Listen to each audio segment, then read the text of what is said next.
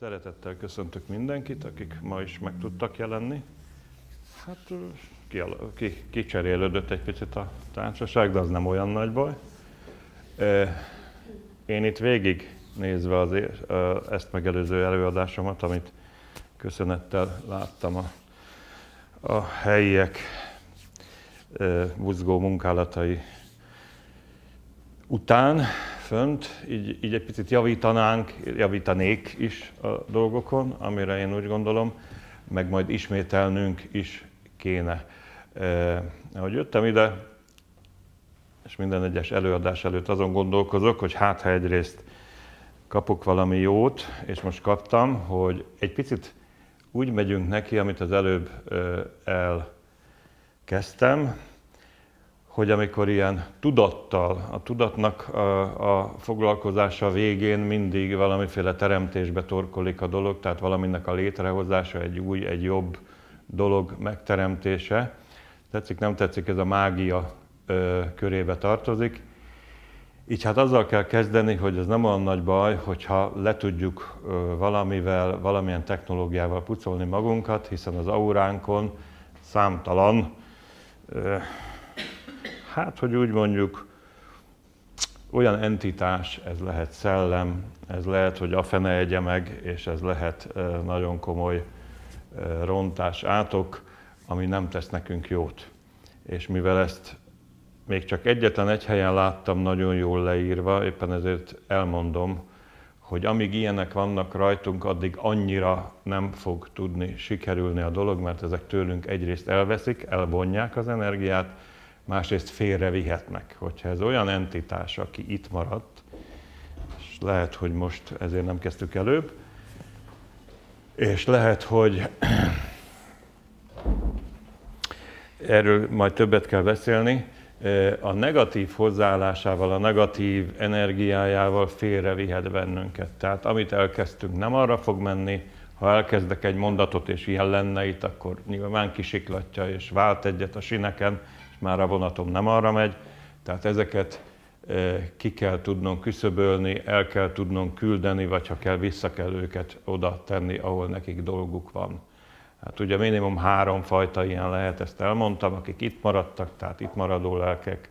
E, nagyon sok van belőlük, mert sajnos az arra hivatottak ezekkel nem foglalkoznak, vagy nincs meg a tudásuk és ezt úgy érzékelni, mint, mint eltávolítani meg kell tanulnunk, mert azon kívül, hogy az életünket is félre tudja vinni, egészségi problémákat is tud csinálni, és hát amikor tudattal dolgozunk, az összes könyv csak ezt felejti ki, nem biztos, hogy oda fogunk kiukadni, ahova szeretnénk.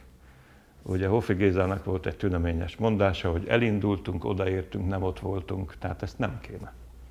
Tehát amikor én valamit valahova meg akarok teremteni, tényleg, hogyha én az egészségemet vissza akarom hozni a helyébe, hogyha én valami anyagiféle dolgot, kapcsolatit, bármit szeretnék rendesen a helyére tenni, és végeredményben nagyon jól érezni magam, akkor ezek meg tudják kiúsítani. Az előbb ugye azért volt ez a pici dolog, hogy ezt a 31 nehány itt lévőt, entitást mondjuk így, ebbe benne van mindenki, azt a helyükre visszaküldjük, mert hogy igencsak rosszul befolyásolták volna itt ezeket a dolgokat, amik jönnek.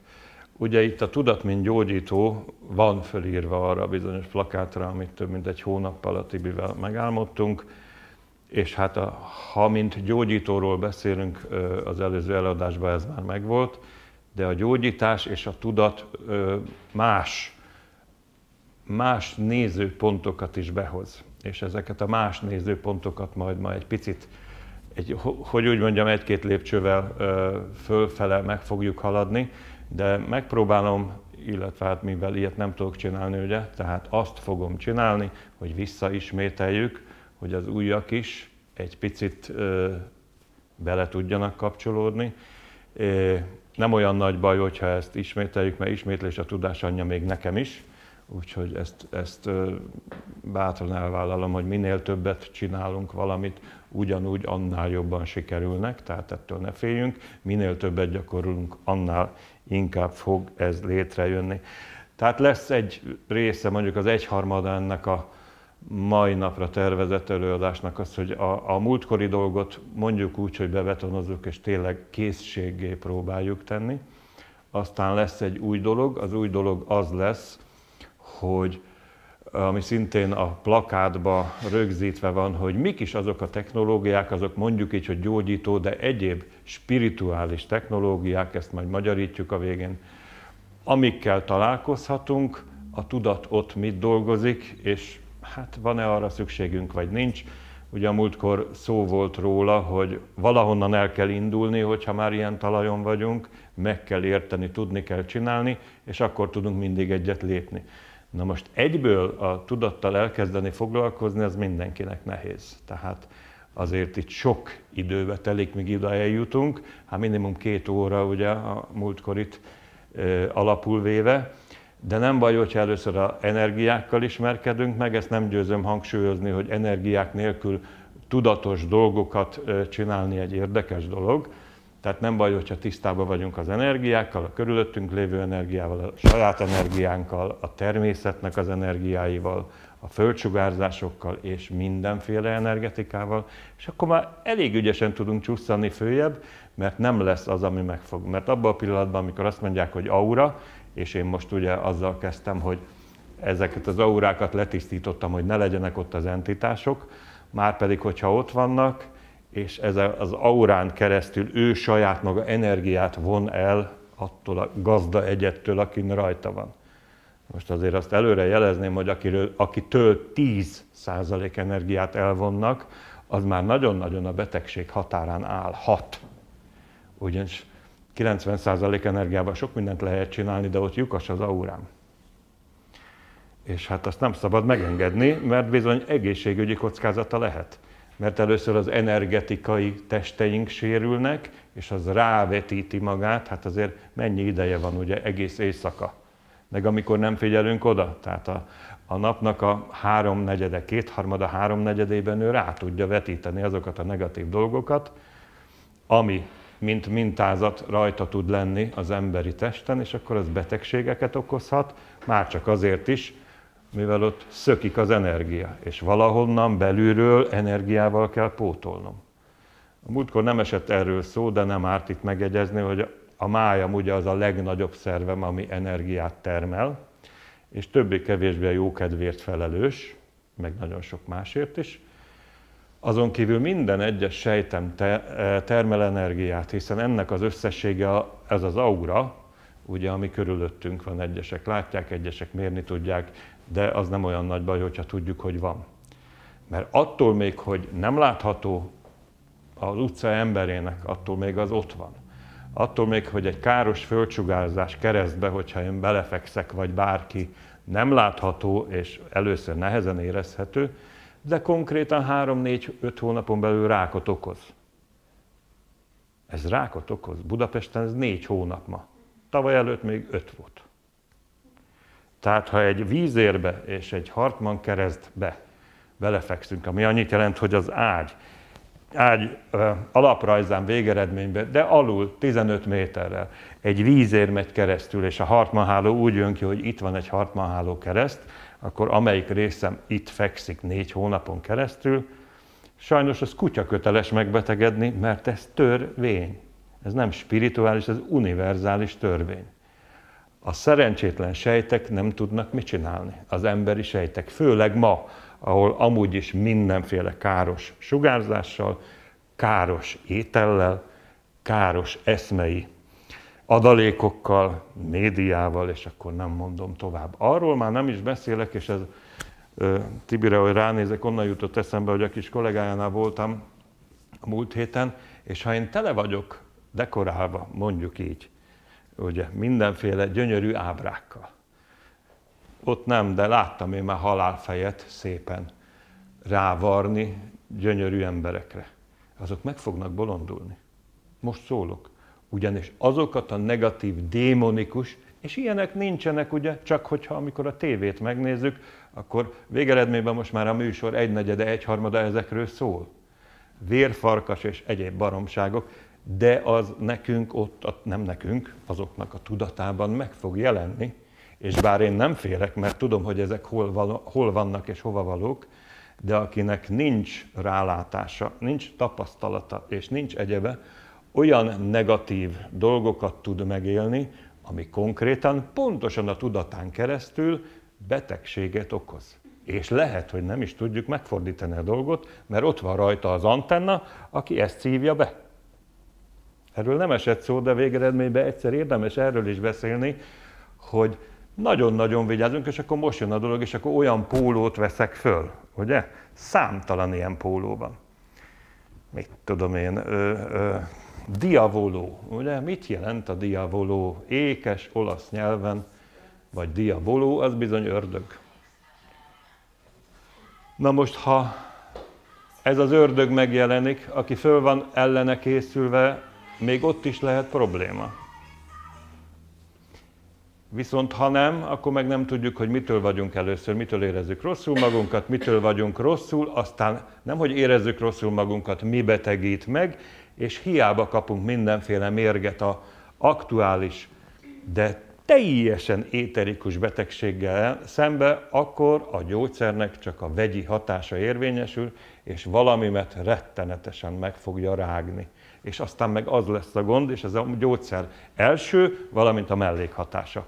Mert az első hatását se kellett volna, és a mellékhatása meg direkt üt. Ma már bevallottam Magyarországon minden harmadik halál az a gyógyszer mellékhatás. Kettő gyógyszernek 15 mellékhatása van, háromnak 93. Láttam olyat, hogy nyolcat szednek. Számoljuk ki a faktoriálisakat. Parancsok? Hát nagyon nehéz. Hát nagyon nehéz. Hát egy vegyi anyagnak, amit gyógyszernek nevezünk, és akkor még nem is, nem is a hordozóját mondom, hanem az aktív alkotórészt, amit tényleg hosszú éveken keresztül kikísérleteztek, de hát könyörgöm, kém csőbe van összerakva, molekula a molekulához, és a többi, és akkor valamire az hat. Valami nagyon pici olyan a szervezet által termelt vagy nem termelt vegyi anyagra, vagy vegyi anyag helyettesítésére, amit tudatosan föl se tudunk fogni, mert az el kell végezni a vegyészmérnöki kart. Ugye, hosszú öt éven keresztül, vagy a gyógyszerészeti kart, és akkor talán valami fogalmunk lesz, öt év gyakornoskodás, gyakornokoskodás után egy bármilyen gyógyszergyárba. És akkor talán valami rémlik. Na most annyi idő alatt azért nagyon sokan halnak meg, és azért most ezt, ez tervem volt már múltkor is.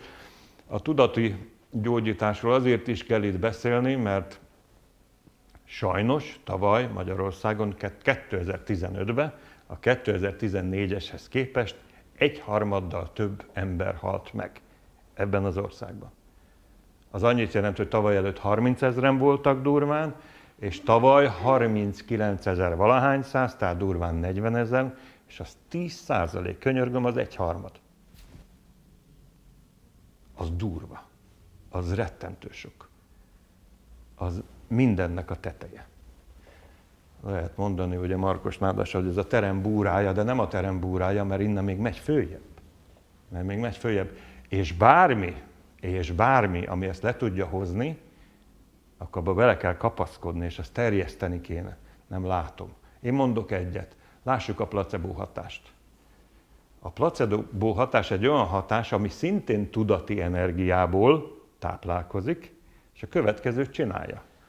Van tíz, teljesen mindegy, mivel megbetegedett akárki, teljesen egyforma, tíz ugyanolyan megbetegedett akárki, teljesen egyforma, ennek adnak a megfelelő vakcinát, ezeknek adnak abból a bizonyos tejporból csinált vakcinát, de nem tudja senki. Tehát az se, aki adja, az se, aki kapja, ez a dupla vakteszt, hanem majd a végén, amikor visszafejtik ezeket a kódokat, akkor derül ki. És mennyi a gyógyulás a, a tej ö, dropszos társaságnál, tehát ami tejporból van, ki tudja. Így van. Pontosan az az egyharmad, amivel tavaly rosszabbak voltunk. Tehát ha bemennénk egy kórházba, és ugye megfelelően itt a belgyógyászat van, itt a szív, vagy tudom én, szív- és érrendszer, nőgyógyászat, stb. urológia, és mindenki kapna egy gyógyszert arra a betegségre, amiért ő ott van, akkor egy hét múlva az egyharmadát nyugodtan ki lehetne söpörni, mert statisztikusan a világon így működik. Én csak most egy ötletet mondok, és ez számtalanszor be van bizonyítva. És a placebo hatás mi, ha nem tudati? Tehát itt vagyunk, hogy a tudati gyógyító. Első a placebo hatás, mert egy harmad. Most, ha én kiszámolnám itt, és az OEP-et is megnéznénk, meg hogy mennyi pénzt kapnak a kórházak, tadadadada, és mennyivel nem tudnak foglalkozni, akkor hol tartunk? A betegeknek az egy harmada. Most a pénz hiába a pénz, itt most már arról van szó, hogy kihalunk vagy nem, tehát nem érdekel ebben a pillanatban, hogy pénz vagy nem pénz. Tehát itt a placebo hatás is gyógyít, mint tudati technológia. Most ebben nem menjünk bele, mert tudom én is, sőt a válaszokat is tudom, sőt még vannak ötleteim, de most nem azért vagyunk itt. Egy a lényeg, azért vagyunk, hogy a tudati, az első tudati tényező az a placebo hatás. Tetszik, nem tetszik, ki is lehet próbálni különben, de a végén visszatérünk. Na, jó barátunkkal találkoztunk itt lent az aulába, és bár nem tudott idejönni, mert valami más gyűlésre jött, ő ezt nem, nem értette, de kérdéseket tett föl a múltkori, a befejezésnél a víz programozásával kapcsolatban. Na most víz programozása több szinten lehetséges, egyfajta dolgot a múltkor kipróbáltunk, ha gondolják, akkor újra kipróbáljuk, de ez nem csak az egészségi állapot vagy a fizikai közérzetet mondjuk így lehet javítani, hanem lehet javítani, és akkor ezt kétszerben majd megcsináljuk egy olyan dologgal, hogy bizonyos kívánságokat is bele tudunk tenni. Most, hogy nagyon ne húzzuk az időt, ezt úgy fogjuk csinálni, hogy egy fizikai közérzetet fogunk javítani, és egy kívánságot is bele fogunk tenni. Akkor elmondom, hogy ez honnan jön. Ez egy a 4-5 éves technológia, ami nem igaz, mert körülbelül 24-nek is jó, mert először egy nagyon-nagyon hasonló dolgot a Domján Laci az agykontrollon próbált, és most már számtalan dolgot lehet felfedezni a neten is, meg itt ott, ahol ez működik. Egy a lényeg, most egy picit jobban fog venni, mint a múltkor, mert nem vagyunk annyian, már olyan szempontból, hogy a káros energiák. Egy a lényeg, hogy mindig csak egy dologra koncentráljunk.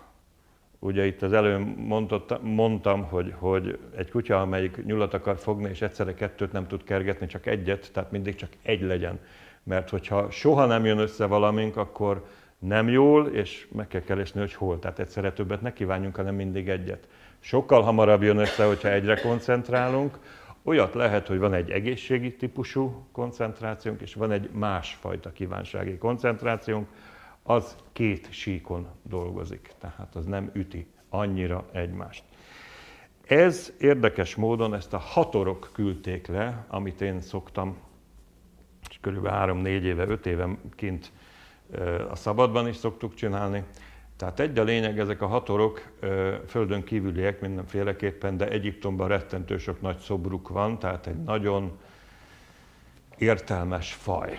És egy, állítólag egy laza ezer évvel vannak előttünk, azt úgy lehet is mondani. Az talán nem olyan sok, és nem azt mondom, hogy behozhatatlan, de ők ennyivel fejlettebbek. Viszont ezek többek között ezt akkor küldték le, amikor Fukushima-ban volt az a tisztázatlan körülmények között, mondjuk finoman, tisztázatlan körülmények között eldurrant reaktor, ahol érdekes módon azért olyan nagyon nem voltak halottak ezért. Tehát sem a rádióaktivitásból kifolyólag, sem talán az özönvíz miatt nem volt olyan parádé, mint ami volt ugye tíz évvel ezelőtt egy picit arrébb a, a indonéz szigetvilágból elindult, és több százezer halottat összehozó tengerengésnél. Tehát itt Fukushima-ban az volt a lényeg, hogy nagyon egyszerű, mindenki által használható módszer legyen, ezt leküldték, valaki ezt gyönyörűen lecsatornázta, leírta, és érdekes módon a japánok, mint tudjuk, azért a japánok egy nagyon-nagyon fegyelmezett társaság, azt nem, hogy a testvéreink, ezt azért most hagyd dekraláljam, mert a japánok azt mondják, hogy körülbelül az időszámítás előtti tizedik évezredben az ajnók, ugye szépen oda áthajókáztak, Hát ők azt mondják, hogy, hogy ugye ott nagyjából ott Korea környékéről mentek át, ha az arvisúrát megnézzük, lehet, hogy Dél-Amerikából is jöttek hasonlóak. Lényeg az, hogy tényleg úgy genetikailag, mind nyelvileg, mind zeneileg rettenetesen közel állnak hozzánk. Hát a, a nyelvileg, aztán az tényleg érdekes, és hát ugye a Kodály tanár úr ugye ezt egész szépen be tudta bizonyítani, hogy zeneileg is nagyon közeli, mert pentaton a hangzás ott is.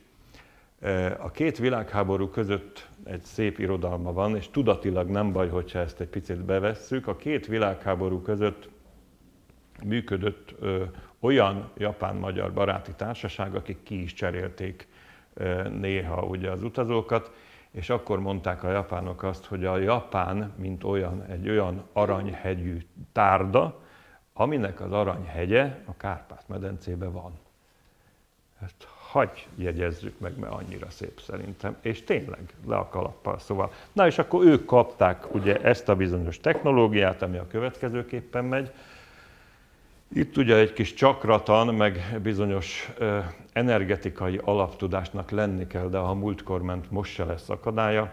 Egy a lényeg, hogy azokat a bizonyos energiákat fölülről, tehát a, a korona csakránkon keresztül kell beengedni. Aki reikit végzett, ez nem olyan nehéz, mert ő neki pont ez van kitisztítva. Egyrészt be kell engedni teljesen ugye a homlok vagy harmadik szemcsakránkig, és aztán utána mindenféleképpen a szívcsankránkig. Ezért mutogatom itt a dolgokat, és mivel nem fog összeérni a kezünk, ha így összehajtjuk a tenyerünket, akkor a legmélyebb, a legmélyebb pont az a tenyerünkön, az a tenyér csakránk, vagy ha úgy tetszik a plexus solaris, vagy napfonat, hogyha egy kicsit idekes valaki, vagy frusztrált, jó magyarul, vagy valami, akkor ezt nyugodtan kezdje el masszírozni, és egy perc masszírozás megnyugtatja. Ez száz százalék. Ha nem tud el, el aludni, szintén megnyugtatja. Ha bármilyen szív és egyéb, tehát mondjuk idegrendszeren, vagy belső késztetésen alapuló gondja van, szintén megnyugtatja, tehát itt sok mindent lehet ebben csinálni. Egy a lényeg, hogy a kezünkön keresztül ide is el tud jutni ez a bizonyos energia. Sőt, hogyha rágondolunk, akkor el is jut első és legfontosabb szabálynak most jegyezzük meg, hogy amire gondolunk, oda energia gyűlik össze. Ha becsukjuk a szemünket és maga, magunk elé képzeljük, akkor többszörös energia gyűlik össze. Tehát első pont, és akkor most az egészségi vonalat próbáljuk meg. Először Vegyük úgy, hogy nem tudjuk, de ha tudjuk, és én azt mondom, hogy vegyük úgy, hogy nem tudjuk, milyen víz van a birtokunkban, amit kiöntöttük a pohárba, először is meg kell tisztítani. Egy, ez a fehér fény. Kettő, föl kell tölteni, vagy el, el kell indítani mondjuk, és talán ez a legjobb, egy olyan energiával, ami elősegít bizonyos, eh, hát kimondom, tetszik, nem tetszik, eh, egészségi, gyógyulási faktorokat elősegít a szervezetben, ez a zöld fény. Nem véletlen vannak a műtősök, az orvosok zöldben, nem véletlen van mindenféle fal zöldre festve a, a kórházakban, ugye, ha egészséghez lenne, milyen tő, sokan gyógyulnának. Tehát ez a második. A harmadik, a múltkor csináltunk egy gyakorlatot, most gyorsan, aki nem tudja, azt csinálhatja. Tehát, hogyha fölteszem a kezem ilyen magasra, a fejem teteje fölé, akkor pontosan abba a pontba teszem egy 20-30 centi, ugye a fejem teteje fölött, amikor is a fölöttes énemmel, ha úgy tetszik a lelkemmel, tudok kapcsolódni itt fönt. Na most ha összeteszem így a kezem, és rákoncentrálok nem a kezemre, hanem a fejtetőmre, elvileg ott valamit azért kéne érezni. Ha érezzük, akkor le lehet tenni, mert akkor megvan a kapcsolat. Ugyanis ebből a pontból fogjuk kérni a segítséget arra, hogy amit a felettesénünk sokkal jobban tud, mint mi tudatosan, ez a tudat felettünk különben, akkor azt a bizonyos rezgést küldje le nekünk majd ebbe a vízbe. És ezt mi az összes energetikai rendszerünkkel ugye várjuk ezt a rezgést, és majd először a szívcsakránkon, aztán a két tenyércsakránkon keresztül beletesszük. Végeredményben ennyi az egész. És akkor most megmutatom, tehát fölveszem ugye ezt a pohár vizet, nem, nem kell még, előre mutatom, tehát csak így, hogy ne nagyon érjen össze a kezünk. Ugye föltesszük ide a harmadik szemünkkel egy vonalba, ugye megkérem föntről, hogy jöjjön egy fehér fény, becsukom a szemem, és hogyha Ha nem tudok semmit csinálni, akkor csak képzeljem el, hogy ez ilyen fehérbe, ilyen opálos színbe elkezd mondjuk opálosodni, jó így? Tehát, hogy fehérben kezd el játszani. Becsukom a szemem, megvan. Jó, ez az első. Ez egy néhány másodperc, 10-20. Utána megkérem ugyan, ugyan ezen az úton, hogy zöld fénybe, és bele kell képzeljem, bele kell lássam ezt a fehér fényt először, aztán a zöldet.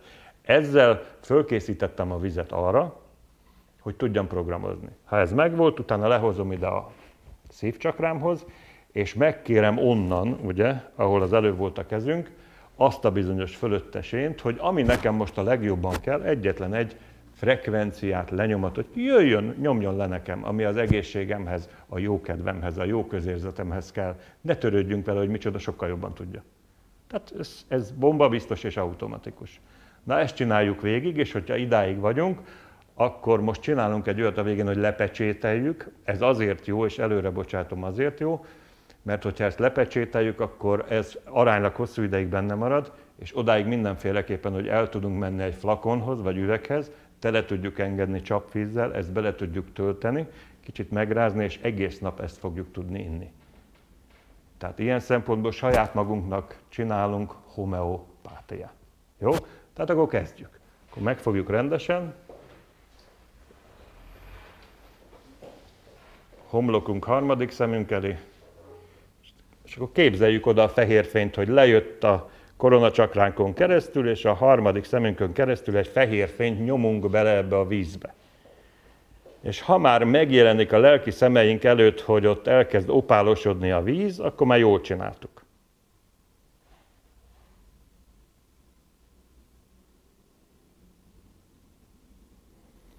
Ha megvan, akkor kérjük el a zöld színt, és ugyanúgy zölddel telítsük ezt a pohár vizet. És ha zöldben elkezd csillogni, akkor már jók vagyunk. Csináljuk ezt is.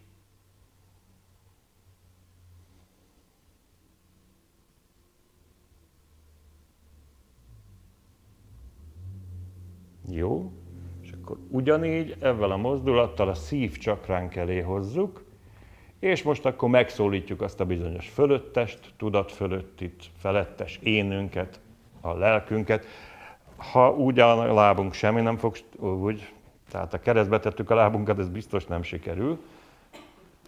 Jó, tehát itt van a szívcsakránk előtt, megkérjük, hogy azt a rezgést, azt a frekvencia mintát küldje ide a kéz csakráinkon, illetve a szívcsakránkon keresztül, koronacsakránkon belép, lemegy a szívcsakrára, koronacsakránkon keresztül belép, lejön a két kézcsakránkhoz, és fújjuk bele ezt a bizonyos energiát, ami nekünk most ebben a pillanatban legjobb, amit elkértünk, a vízbe.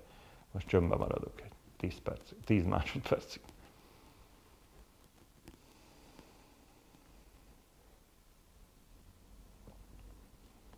Ha érezzük, hogy bizsereg a tenyerünk, ha érezzük, hogy bizsereg a kezünk, akkor már ott van biztos, de még várunk egy picit.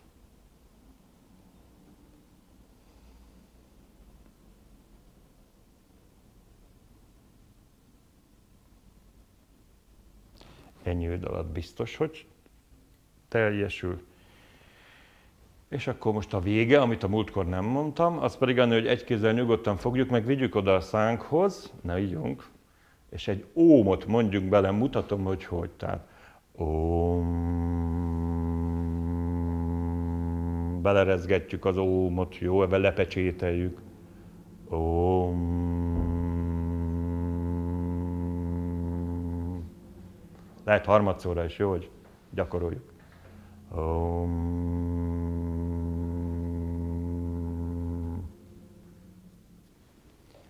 jó.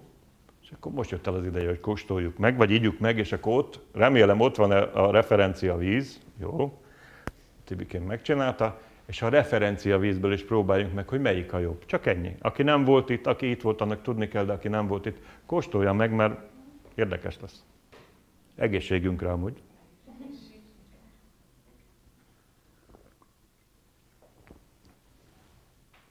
Eleve megdöbbentő íze van, ugye? És akkor most érdemes abból kóstolni. Én tartalékolok ebből.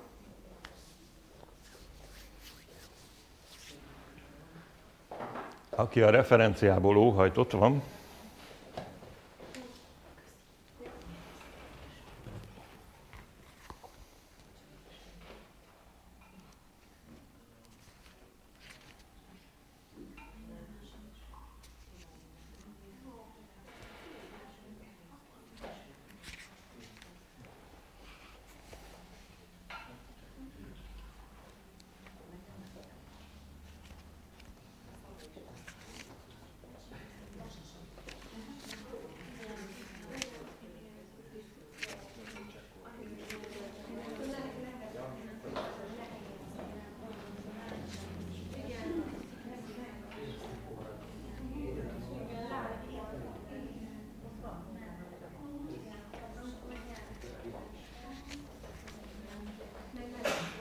Na, kinek volt új, aki ezt még nem csinálta? Jó volt? Mennyi volt a külön, milyen volt a különbség, vagy mekkora volt? Igen, igen. Tehát konkrétan, ha elhiszik, ha nem, bele tudunk nyúlni, nyúlni saját energiánkkal, saját energetikai rendszerünkkel a víznek a kristály szerkezetébe. Ez pontosan azt jelenti. És hogy egy kicsit még tudományosabban akarom, akkor itt a kálcium ionokat és az egyéb vízben, tehát a városi vízben lévő ionokat valamilyen úton, módon biztos, hogy kicsapatjuk, tehát ez egy lágy víz, amit mi csinálunk. És benne van, nyugodtan meg lehet nézni, benne vannak azok a mondjuk így frekvencia lenyomatok, tehát azok a tényezők, amik bizonyít igen jó hatást fejtenek a későbbiekben ránk.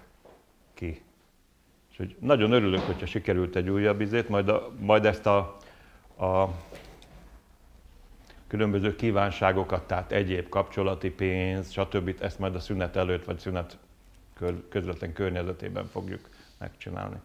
Na, ha mindenkinek maradéktalanul sikerült ennek örülök, akkor egy kicsit most gyorsan azért fogunk sietni. Nekem itt föl van írva, és most jobban fogom tartani magam az időhöz, mint a múltkor, meg pattogósabb is lesz hogy átismételjük közösen, egyrészt hála jó Istennek meg, meg fogják ezt örökíteni, vagy megörökítik, a másik, sokkal hamarabb fogunk tudni magasabbra érni ezekkel a technológiákkal, meg meg is tudjuk majd érteni. Egy picit én most olvasok, de remélem, hogy nem lesz annyira. Ez a vázlat száraz, a tudat teremti meg a valóságunkat. Most ebben nem megyünk bele, a múltkor erről volt szó. Az ember gondolatai teremti, teremtik meg a valóságát. Az ember tudata mindig a gondolkodását követi. Tehát, hogy a tudatomat folyamatosan fejlesztem. Tehát olyan tudati állapotba tudok jutni. Tudati állapotokról nem beszéltük. Amit mi ismerünk, ez a jóga és a meditáció, hogy aránylag széles spektrumba tudok figyelni, a fizikai testemet el tudom felejteni. És ebben az állapotban, alfa, téta, delta állapotban, tehát amikor 8 Hz alatt, 4 Hz alatt van az agyi rezgésem, rezgéseim száma, legegyszerűbben ugye elalvás előtt, illetve felkelés után, meditációs állapotban, bizonyos jóga gyakorlatok közben, vagy ha úgy tetszik, amikor révülök, vagy még közkeletűbben bambulok, tehát amikor nézek bele a semmibe, akkor vagyok abban az állapotban, amikor a lehető legtöbbet tudom tenni magamért, és mivel az okosok azt mondják, és ez igaz, hogy abban a pillanatban, amikor azon a meditációs szinten vagyok, hogy elértem minimum az alfát, akkor én, mint fizikai jelenség és az élet egy. Egy és ugyanaz. Ez a mind egy. Na ebben az állapotban tudok változtatni magamon, és ugyanúgy tudok változtatni az életen. Értsd életemen. Na most ezt kell, ez ilyen egyszerű. Tehát az összes tudati dologot, hogyha össze akarom foglalni, ez ennyi. Ez ennyi. Ha ezt meg tudom csinálni, akkor olyan napfényes életet tudok csinálni magam napról napra előre, hogy szinte nem tudom elképzelni. Hiszen elvileg ez egy jutalomutazás, tehát nem kéne szenvedni. Nem kéne szenvedni. Ezt különben nem véletlenül kaptuk, nem véletlenül írtuk alá, nem véletlen vagyunk a Kárpát-medencében, és nem véletlen vagyunk így itt együtt, mert meg akarja mindenki tanulni. Tanulni úgy lehet meg, tanulni, hogyha gyakoroljuk. Ez az első, elérjük azt a tudatállapotot, legyünk olyan szinten, bambuljunk egy nagyot, vagy csukjuk be, de szintén bambuljunk, és akkor vagyunk ott, amikor nem érezzük a fizikai testünk különböző kihatásait, nem érdekelnek a gondolataink. Ugye a múltkor mondtam a gondolat réses módszert, tehát amikor két gondolatunk, két bevillanó bármink között ott van az a rés, amikor üresség van, na akkor vagyunk jó helyen. Akkor tudunk valamit csinálni. Erre majd még visszatérek. Itt tud dolgozni a tudat. A gondolatokat a morfogenetikus mezőből, a kvantumtérből kapjuk, és az agyunk, az az antenna, vagy az a kapcsoló közvetíti nekünk. Na most nem tisztáztuk rögtön, hogy mi egyek vagyunk ezzel a kezes lábassal, vagy mi hogy is vagyunk, ugye? Ezt rögtön az elején kellett volna. Tehát van az emberi hármasság, ami most négyesség, tehát a fizikai test, a szellem és a lélektest, valamint a tudat. Tehát itt van, hogy mekkorát hamisítottak, most kénytelen vagyok kimondani a Biblián is, mert ugye, ugye az Atya, a Fiú és a Szentlélek. És akkor hol van a muter? Tessék mondani. Egyáltalán. Tehát az Atya, az Anya, a Fiú, akit a Szentlélek hat át. Mondom az analógiát. A fizikai testem, lélektestem, szellemtestem, amit a tudatunk hat át. Nem ugyanaz? Sőt, a funkciója is ugyanaz. Na itt az érdekesség, és amire ki fogok majd térni, itt van az a szimbólum, magyarul jelkép, ami már rögtön tud dolgozni oda-vissza. Tehát, hogyha helyére kerül itt, akkor helyére kerül ott. Ha én kiveszem az emberi hármasságból a tudatot, tehát tudat nélküli ember mit tud csinálni? Hadd kérdezzem meg, kinek van erre való tapasztalata? Ha egy embernek nincs tudata, akkor hol van, mit csinál? Tudat nélkül az ember, megvan szellemtest, lélektest, fizikai test, mit tud egyszerűen csinálni? Úgy van. Mondjuk ezt, beülünk az autó, nem ülünk be az autóba, be van indítva az autó.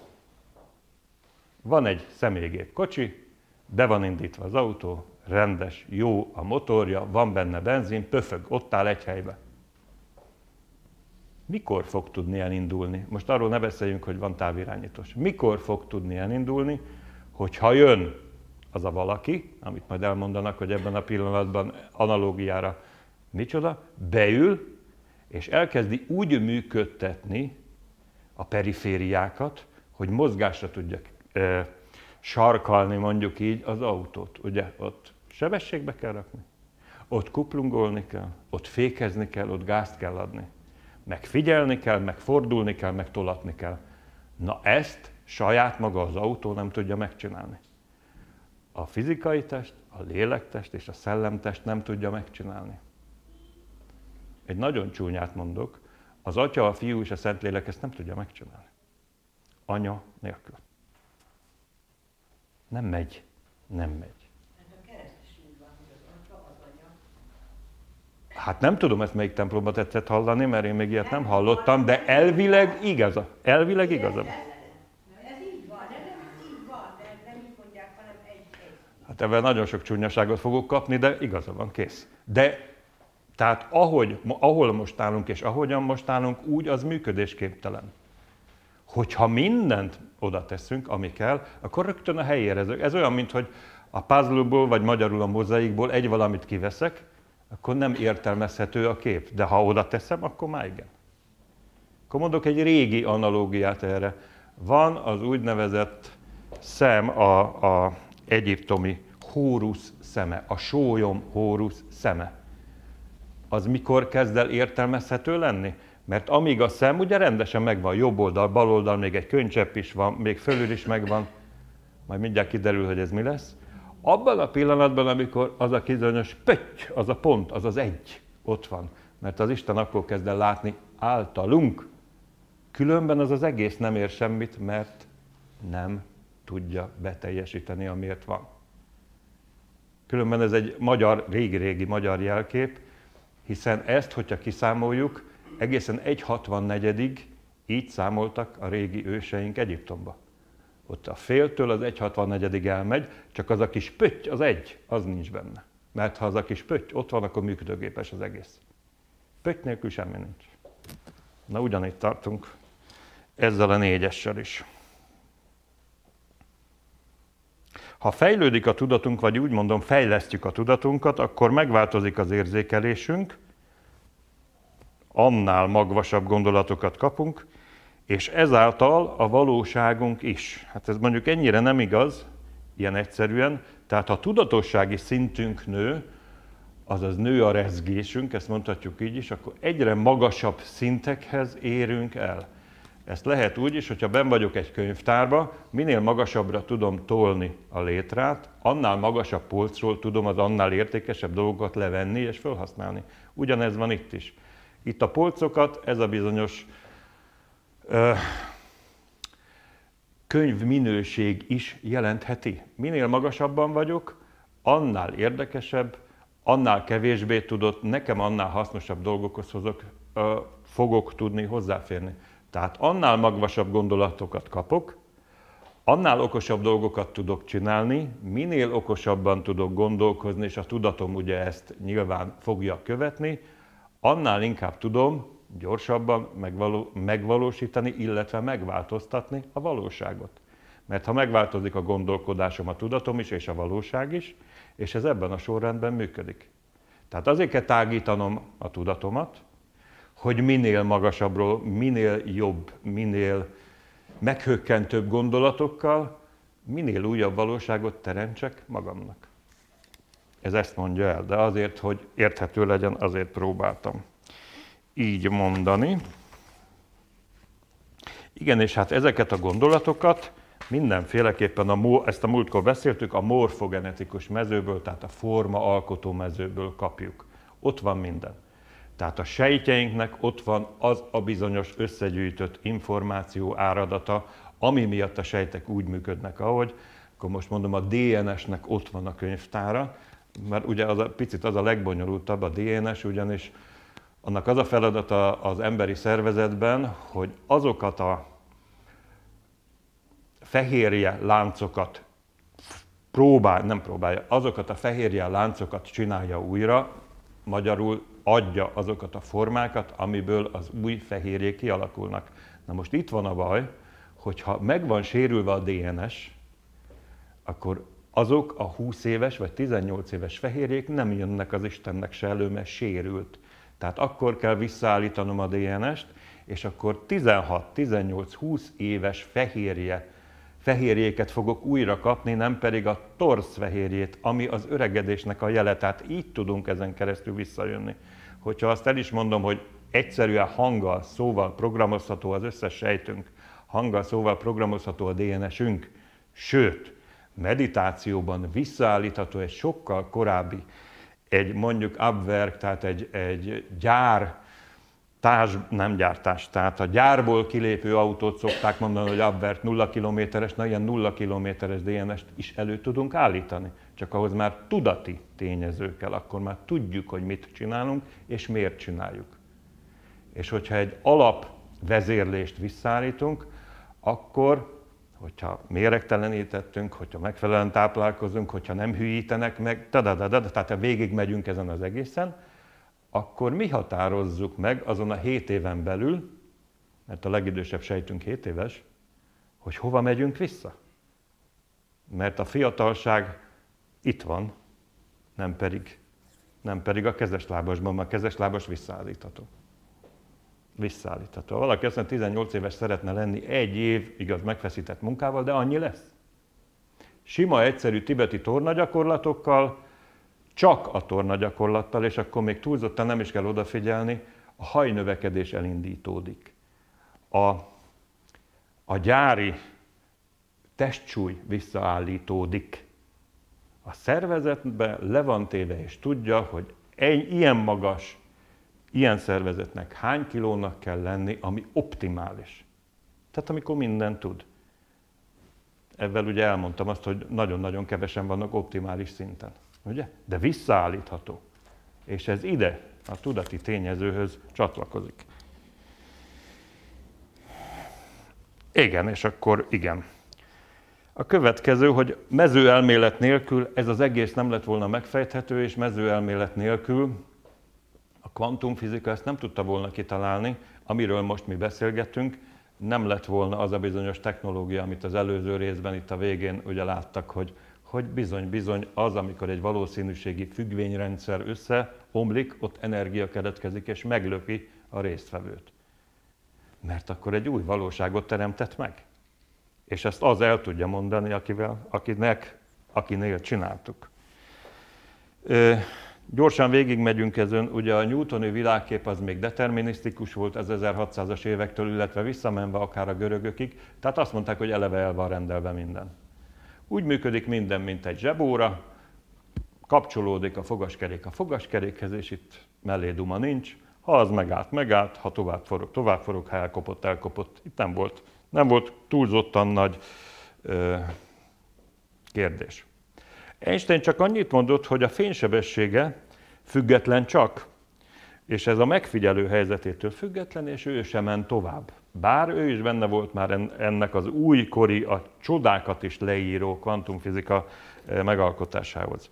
A kvantumfizika indeterminisztikus, tehát nem előre meghatározott, ami annyit jelent, hogy a valószínűségek által írhatjuk le a valóságot, ami a megfigyelő által lesz konkrét, megtapasztalható anyagi valóság. Elolvasom, mert itt a, itt a lényeg. Ez a lényeg. Tehát valószínűségek vannak itt a térben, a variáció térben vagy a mátrixban, valószínűségek milliárdjait vannak, és ugye ez, ezzel tudjuk leírni a valóságot, mert a, mindig a megfigyelő. Tehát ha én valamit megfigyelek és valamit elvárok, általában az fog bekövetkezni. Na itt a teremtésnek az egyik érdekessége. A megfigyelés az ebben a pillanatban, és amikor itt döltögettem a hölgyeket, az, hogy először két pontot én, mint megfigyelő. Betájolok, meghatározom, és ezzel a két ponttal, ami pontosan rajta van, hozom létre az új valóságot aztán az összes többivel, mert ugye ott a valószínűségeknek is valamelyre kell dűlni vagy bukni, és hogyha ezt kellő fókusszal csináljuk, akkor ebből nagyobb gáz nem lehet. Nagyman János mondta a következőt, 1955, mint tudjuk, ugye a számítógép atya, a tudat választja ki a megtapasztalást az összes olyan kvantum lehetőség közül, amelyet egy objektum képvisel a kvantum fizikában. Tehát ezért kell a tudatunkra nagyon figyelni, és ezért kell nagyon tudatosoknak lenni, mindenkinek, saját magával főleg, mert a tudatunkkal, ami, mint tudjuk, követi a gondolatunkat, tudjuk kiválasztani a jövőnket. A tudatunkkal teremtünk. Ez az egésznek a lényege. Hogyha koncentráljuk a tudatunkat egy szervünkre, amit úgy gondolunk, hogy beteg, akkor meg tudjuk javítani vissza tudjuk állítani az egészséges állapotot. Ez minden szervünkre igaz, ez minden sejtünkre igaz. És ez minden ezt követő, sőt ezt megelőző élethelyzetünkre is. Ha hiszik, hanem visszamenőleg is tudunk változtatni a múlton. Ez volt idáig a legdurvább én is, és higgyék el, hogy működik. Egy volt, hogy megütöttem a lábam, de nagyon csúnyán, mert egy 25 kilós kalapács volt, és falat bontottunk, elég érdekesen nézett ki a sípcsontom, és 5 perc kellett gyönyörűen helyre lehetett hozni, de ugyanilyen, ha valakinek kibicsaklik a lába. Ha leül, és a tudatával tud dolgozni ott és akkor, becsukja a szemét, nem olyan nagy baj, hogyha ráteszek kezét mondjuk a fájó helyre, visszapörgeti az eseményeket, és az elé, a momentum elé vissza tud menni, mielőtt bicsaklott a lába, és utána ő neki a képzelete fűzi tovább a történetet, hogy nem is bicsaklott ki, hiszen már nem fáj és már nem jó, és ezt ki tudja tartani egy pár percig, nyugodtan megnézheti a lábát, a világon semmit nem fog látni, és nem lesz fájdalma. Nyilván ehhez kell gyakorlás, de ez működik. Ezt azért mondom el, hogy működik, bárkinél tud működni.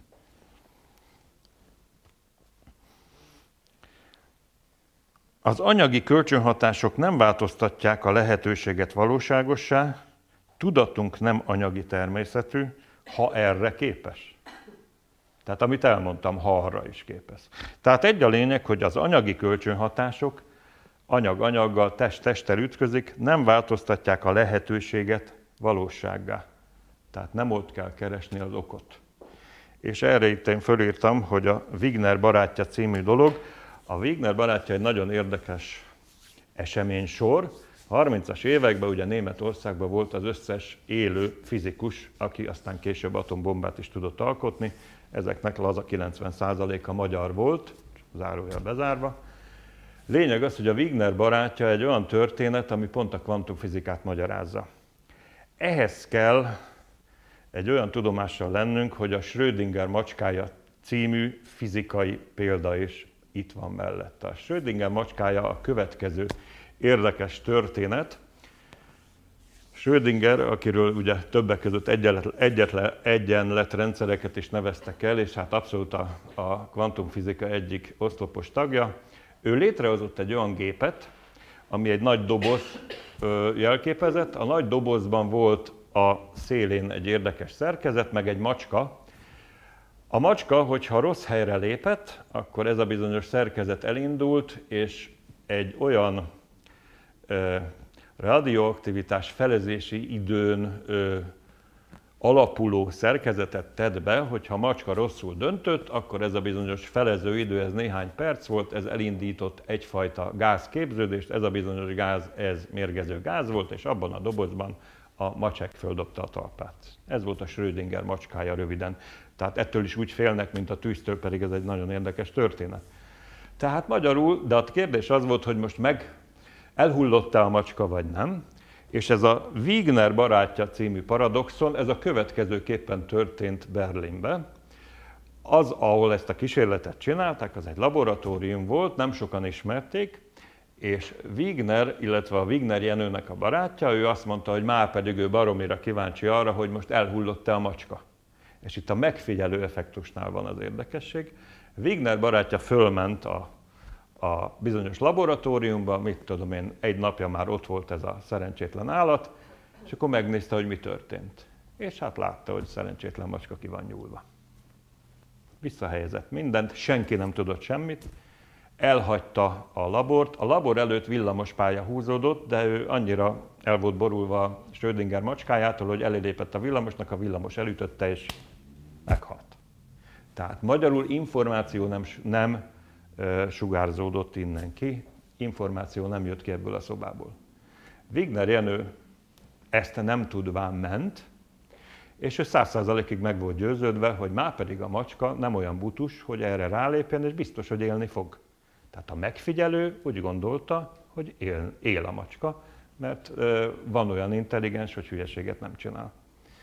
Fölment a laborba, nem tudták, hogy meghalt a barátja, kinyitotta az ajtót, megnézte a dobozt, mi történt, hogy találta a macskát? Így van. Tehát a megfigyelő teremti a valóságot. Itt egy jó kérdés, hogy a Wigner barátja, barátjának az információja, hogy, hogy hogyan jutottak hozzá. De kész. Lényeg az, hogy a macska életben volt annak ellenére, hogy az előző információ, amit nem tudunk, hogy hogy szivárgott ki, ennek az ellenkezőjét mutatta.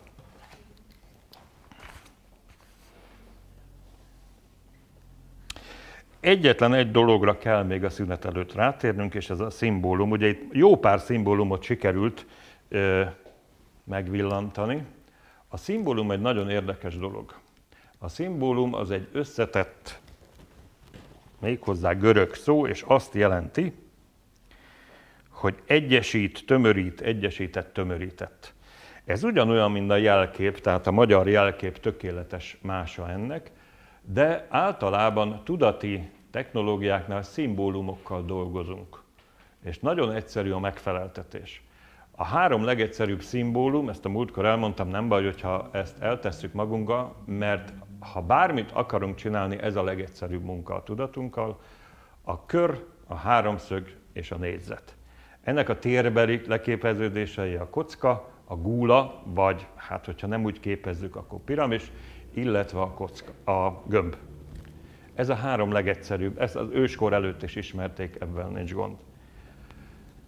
Viszont, hogyha én megfeleltetek egy gondot, ami az életemben megjelent, akár egészségügyi, akár kapcsolati, akár anyagi.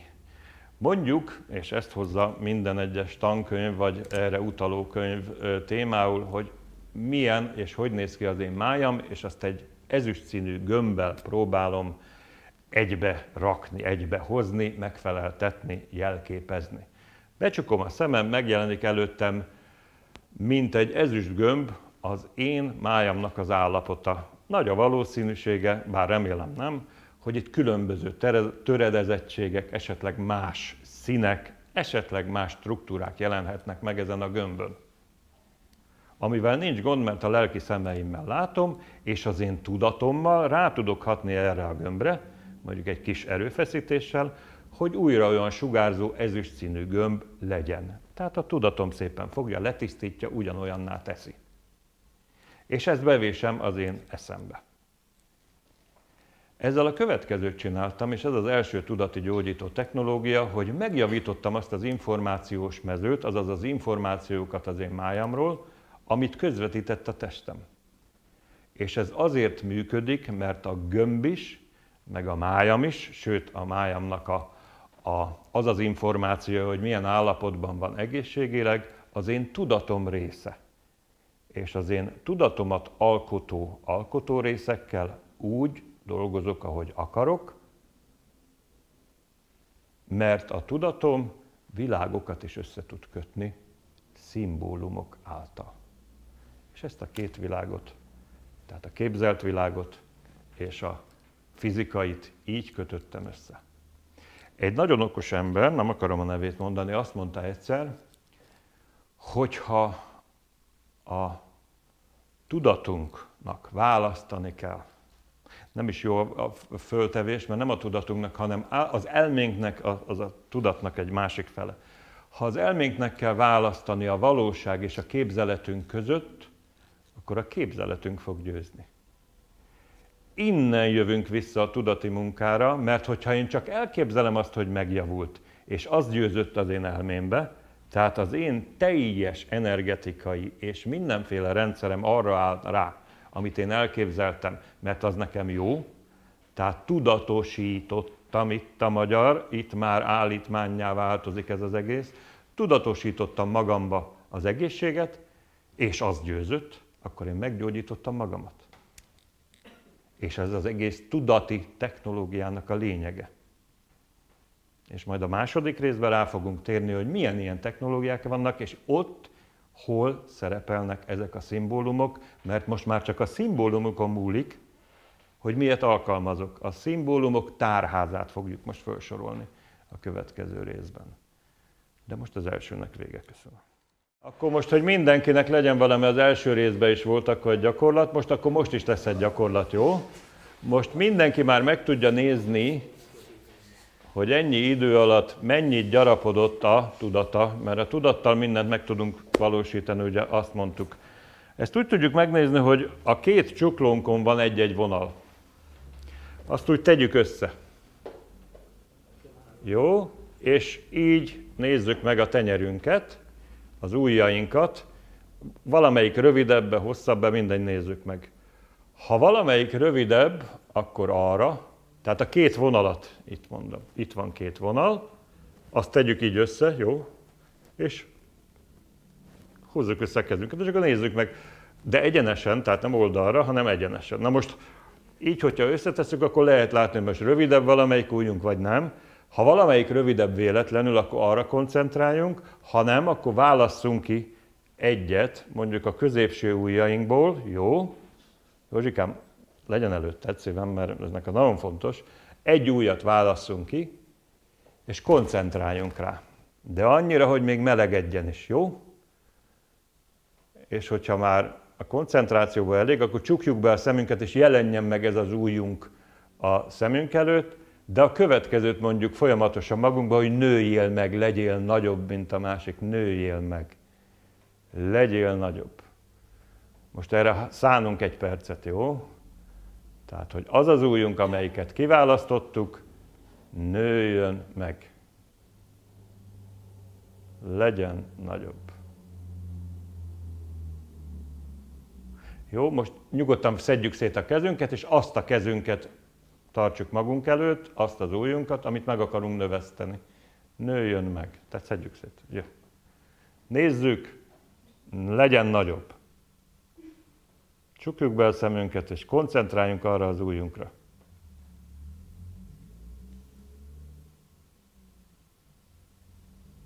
Ha bizsereg, akkor már jó, akkor már a tudatunk ott van.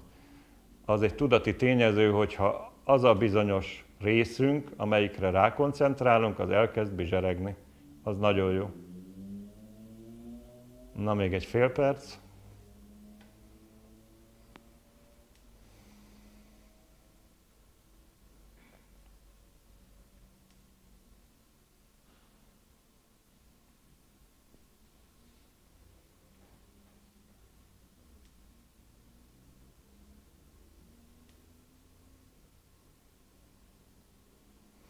Na, és hogyha ez meg volt, akkor nyissuk ki a szemünket, megint tegyük össze annál a két vonalnál, ami egyforma volt, és tegyük össze a tenyerünket. És nézzük meg, melyik nagyobb. Hadd halljam. Hol nem nőtt meg az az új, amire gondolt? Hol nem nőtt meg? Na tessék! Ugye, hogy mindenkinek megvan az ereje a tudatában?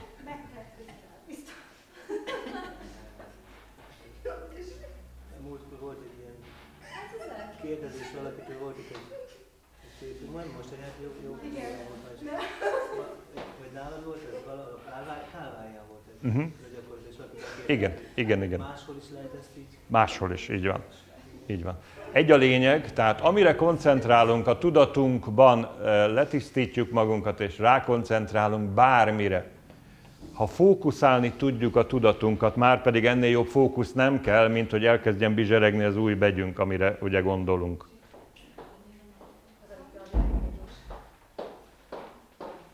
És akkor a tudatunk, a, a mi parancsunkat kutya köteles végrehajtani. Elmondom azt is, hogy hogy lett nagyobb, nagyon egyszerű el tudja lazítani azokat az inakat és izmokat, amelyikből áll az a részünk. Ez mindenre igaz. Na most ezzel a tudati dologgal, az külön, majd mindjárt végigvesszük a tudati technológiákat, eh, ha ezt sokszor csináljuk, ez, volt egy, nagyon sok ilyen volt, volt egy olyan, mitől egy számmal kisebb volt valakinek a lába, még Amerikában, és a Szilvának ugye az agykontrollos módszereivel még a tetejébe, ugye ezt meditációba is levitte, egy éven belül utolérte a lába a másikat. Ugyanúgy volt hölgyeknél, hogy az egyik keble ugye, meg a másikhoz képest nem egészen takarták egymást, és a végére összejött egy év, és minden ilyen. Na most voltak nagyon durva dolgok. Például az egyik kisgyereknek valami, egy egész pici volt, tehát nehány éves, levágta az ujját. De még a szülők nem mondták el neki, hogy hát az, az olyan egyszerűen azért nem fog visszanőni hanem azt mondták neki, hogy nézze meg ott a gyík, letörik a farkát, és visszanő a gyíknek a farka. És akkor mit tudom én, bármilyen hüllőnek, bármilyet levágják, és vissza tud nőni. Ugye ez DNS programozás csak. A kisrác két éven belül visszanövesztette az ujját. Nem tudta, hogy nem lehet vissza. Nem tudta, hogy nem megy. Tudati, igen komoly dolog. Tudati. Tehát itt most mindenki saját magának be tudta bizonyítani, hogy a tudata milyen erős. Ez az élet minden területén, elsősorban ugye egészségügyi, másodszorban más területeken, majd szépen ki fogunk rátérni, igaz. Tudat ereje megvolt. Most akkor nézzük a különböző tudati módszereket. Azt hiszem a teljeset felesleges felsorolni, majd meg fogjuk látni azokat a szimbólumokat, amivel dolgoznak. Itt van rögtön ugye az agykontroll agykontroll, hát nagyon régen bejött az agykontroll, mondjuk így. Az agykontrollnak egy gyönyörű trükkje van, ami nem trükk, hanem jó, hogyha ezt meg szívleljük, az, hogy le tudom menni a szintjére, tehát alfa állapotban, és alfa állapotban, amit a saját képernyőjére, tehát a, a, mondjuk így, hogy a lelki szemei elé kivetít, és ezt jó hosszan tudja tartani, tehát néhány percig, és legalább egy pár napig, akkor konkrétan ő azt beírja a saját maga valóságába, ilyen egyszerű. Most ennek a ilyeneket nem szoktam alkalmazni, pandantja, tehát ennek a párhuzamosa ez a Theta Healing, ami tavaly előtt jött be Magyarországra. A Theta Healing majdnem ugyanezt csinálja, csak Theta állapotba. Na most itt egy picit ö, magyarázni kell, az alfa állapot az 4-8 Hz, az agyi frekvenciánk 4-8 Hz, tehát ezt 30-40 nap alatt bárki meg tudja tanulni, hogyha minden reggel miután fölébred, de ad még magának egy negyed órát, száztól elkezd visszafele számolni, és amikor, és csak a számokra figyelés mondjuk fizikailag nem mocorog, akkor mire leér a nullához, akkora e, nagy a valószínűsége annak, hogy a fizikai tényezők nem játszanak szerepet ott és abban a pillanatban, el fogja érni ezt a 4-8 hercet, és uh, ugye ezt egyrészt a Hozé Szilva, másrészt ugye a Domján Laci úgy mondja, hogy az ő szintjén már minimális dolgokat elkezd tudni az elévetített, mondjuk így, hogy képernyőn, vagy a lelki szemei előtt, amit kivetít, annak előbb-utóbb minimális türelemben, de meg kell történni.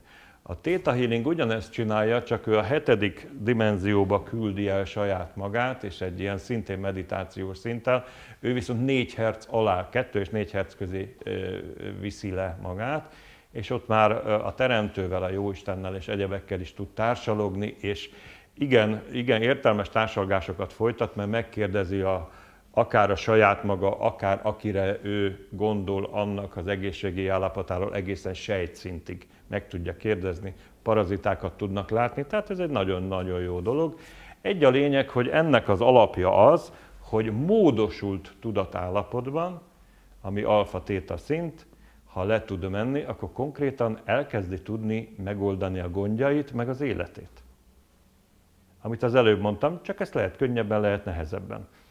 Ez is 40 nap és tökéletesen működik. Na most, ha valakinek saját magára nincs 40 napja, akkor, akkor akkor úgy néz ki, mint ahogy az utca embere, nem tudok mást mondani, mert ezt tudni kéne. Nekünk viszont baromi egyszerűen megy, ha elmondják majd a végén, amit én elmondok, hogy milyen egyszerű a teremtés, rovás írásból visszafele fejtve. Ezt fogom majd felrajzolni, azért kértem a táblát. De most menjünk tovább. Ugye valamennyire tudati tényezőkből táplálkozik a pránanadi, amit hallottunk, illetve a, a reiki. Ugye a pránanadi az a hindu része, ott, ott pránának hívják ugye ezt a bizonyos energiát, a reikinél kínek hívják, vannak bizonyos kínai technológiák, ahol csínek hívják, de ez a bizonyos általános vagy univerzális energia, amivel dolgozik mind a két módszer. És az egyes szinteken ott még nincs is e, túlzott spirituális behatás, ott fizikailag érzékeli mindenki az energiát. Mert fizikailag mindenki érzékeli az energiát, maximum nem érzékeny rá. Na most, hogy ez milyen egyszerű, ki nem, ki nem érzékeli itt a, a, az energiát itt a közöttünk, a teremben? Van, van olyan, aki nem érzékeli, akár a saját maga energiáját? Mert most két percet azért fogunk rá fordítani, jó? Hogy érzé, minimum egyszer érzékeljük meg, és akkor rájönnek, hogy ilyen egyszerű. Ha valaki összedörzsöli a kezét, amíg jó nem melegszik föl, tehát melegedjen föl, amennyire csak lehet, amennyire csak lehet. Itt különben a különböző meridiánok végeit is gyönyörűen stimuláljuk, tehát elindítjuk őket. Ha már jó meleg, akkor csak ennyi, hogy jó. Csukjuk be a szemünket, és nézzük csukott szemmel, hogy a két tenyerünk között van-e valami. Van-e valami. És egy olyan nagyon-nagyon pici, a léggömnél és egy picit kicsibb, de egy sugárzásnak, egy leheletnek, egy leheletnyinek ott kell lenni. Megvan? Akkor jó. Akkor jó. Akkor jó. Tehát itt végeredményben a, ezek az energiaadó gyógymódok, vagy tradicionális technikák, ezek többek között ezen de a szintjük, ahol már messze gyógyító kódokkal, tehát, tehát szimbólumokkal találkozunk. Tehát ott, például a Reikibe, azt tudom mondani és ajánlani, háromféle szimbólumot, kódot kap a beavatott, erre visszatérünk majd, kap egy olyan szimbólumot, ami energiát ad neki, kap egy olyan szimbólumot, ami letiszt, érdekes jelentést is fog kapni erre, és kap egy távgyógyító szimbólumot. Ami annyit jelent, hogy ha ezt a hármat variálja, akkor az esetek 80-90%-át meg tudja oldani. Most visszatérek, mert a tudati résznek az is lényege, hogy tudjuk azt, hogy mit szeretnénk. Tehát ha azt tudjuk, hogy emberi testtel foglalkozunk, akár a magunkéval, akár a családban bárkiével, vagy akár máséval, akkor ott ezekkel a technikákkal, tehát pránanadi és reiki, itt elsősorban energiákkal dolgozunk. Mert ahol energetikai probléma van, és én ki tudom javítani, az nem fog levetülni a fizikai testre, és nem teremti meg magának a betegséget. Akkor már energetikai szinten megfogjuk. És akkor ugye úgy fogjuk meg, mert én az első szinten megtanítom mérni a, a bejövőket, ki tudják mérni, hogy hol van az aurában. Ugye, mint tudjuk, az aura az a testnek a kiterjedése energetikai szinten. Ki tudjuk mérni azt, hogy most ha valahol kisebb az aura, mitől kisebb, attól kisebb, hogy rossz helyen fekszik, hogy negatív energiát kapott, hogy van rajta valaki. Tehát ezt mind gyönyörűen egy foglalkozáson meg tudjuk nézni. A másodikon fölturbózva ezeket az energiákat, nem kell kapcsolatban lennünk, nem kell egy légtérben lennünk például azzal a valakivel, aki megkér, hogy csináljak vele valamit, a föld túloldalán is lehet ugyanúgy tudok vele dolgozni. A harmadik már nagyon spirituális szint, ott már, ott már szellemszinten gyógyítunk. Tehát a, a mesteri szintnél már szellemszinten megy a dolog. Hát azért annak el kell telni egy kis időnek, mire oda fölérkezünk, de nem nehéz. Tehát gyönyörűen ez is meg van lépcsőzve, benne van az a szimbólum rendszer, amivel dolgozunk. Nem árulok el nagy titkot, hogy végeredményben ez tibeti buddhista szimbólumrendszer döntő többségében. Nem is nagyon nagy csoda, hiszen a 19. század végén jött létre például a reiki is, ahol ebben foglalkoznak. No, a, ezekkel a tradicionális dolgokkal most egy picit leállatunk, és akkor jön, egy picit eljövünk mondjuk a magyar gyógyítás fele, hiszen, hiszen a magyarság őseinek is voltak igen komoly ö, gyógyító történetei, sőt, ö, olyan történelme, ahol gyógyításokkal méghozzá spirituális, illetve szimbolikus, vagy, vagy ha úgy tetszik, tudati gyógyítással foglalkoztak. Ugye ezek voltak a táltosok, a magyarság, rokonság népeinél pedig a sámánok. Biztos látott mindenki dobokat, sámán dobot vagy táltos dobot, annak is megvan.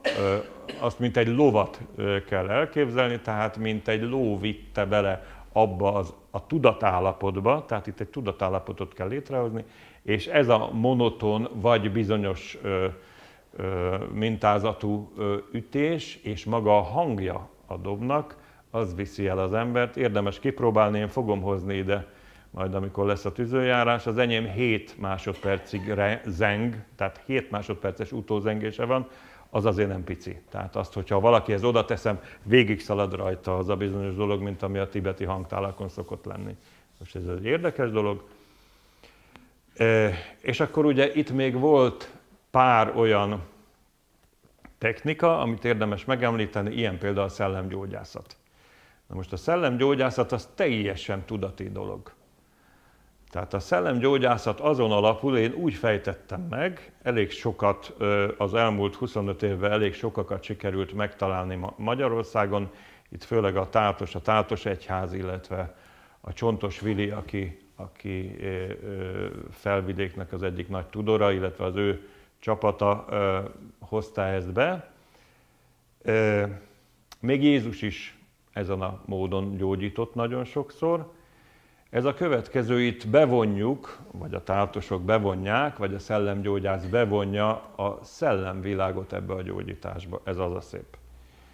Tehát itt a szellemvilágtól a megfelelő tudati szinten természetesen engedélyt kell kérni, hogy XY-t meg lehessen gyógyítani. Na most hogy is megy ez a dolog, mert nagyon egyszerű.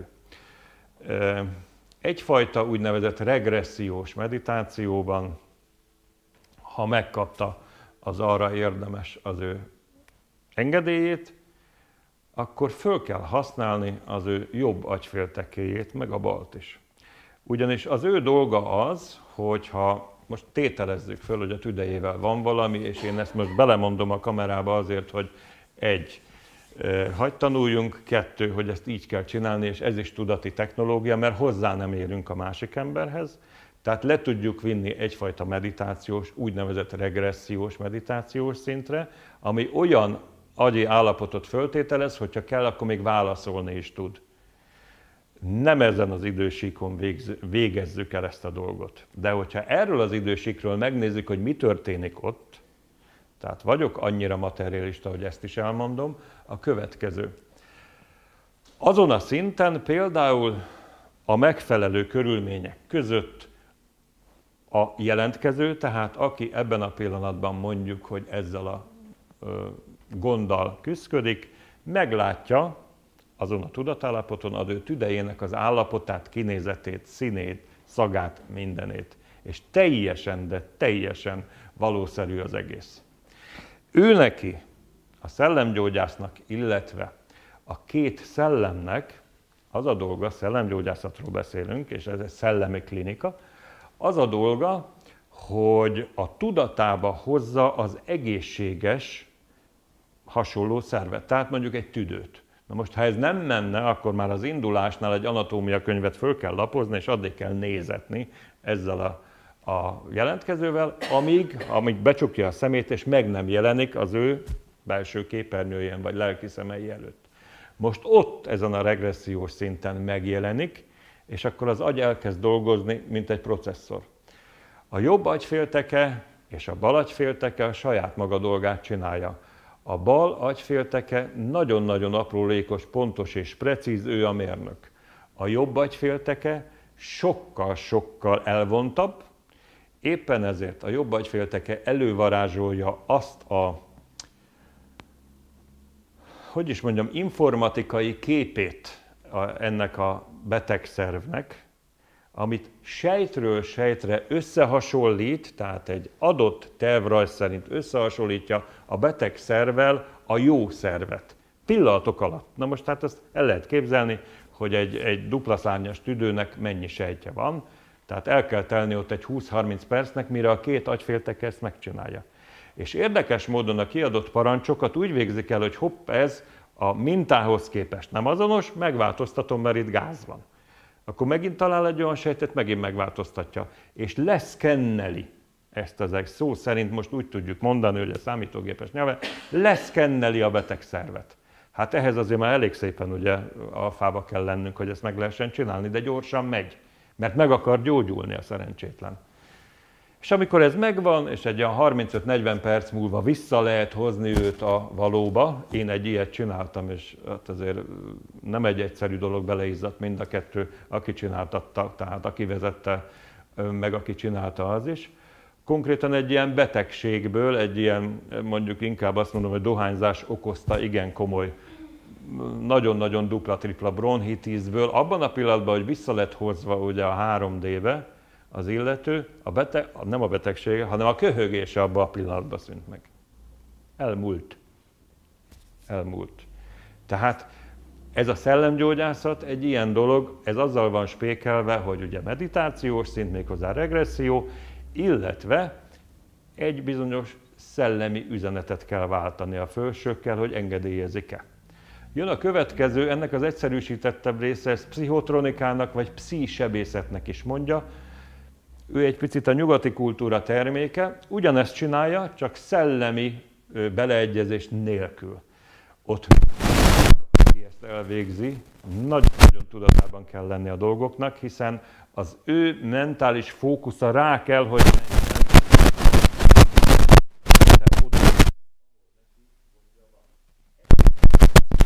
kell csinálni, csak ott egyfajta háló nincs rajtuk, mint amit a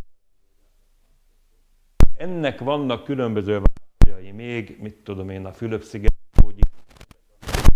tényleg ilyen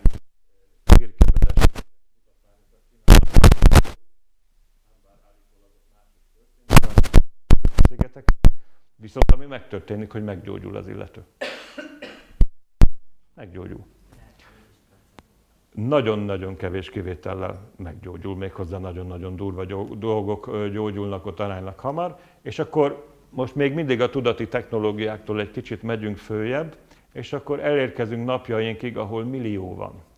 A múltkor mondtam, ugye van a kapcsolatteremtő gyógyítás, ez az Elik Pearl nevezetű úr, aki a következőt csinálja a végeredményben, létrehoz egy erőteret, mint mi az előbb, egy igen komoly tudati tényezőt, ugye hát itt a beavatás arra vonatkozik azon a 444 ezer forintos tanfolyamon, ez 2010-es ár, amit egy nap alatt sikerül elvégezni.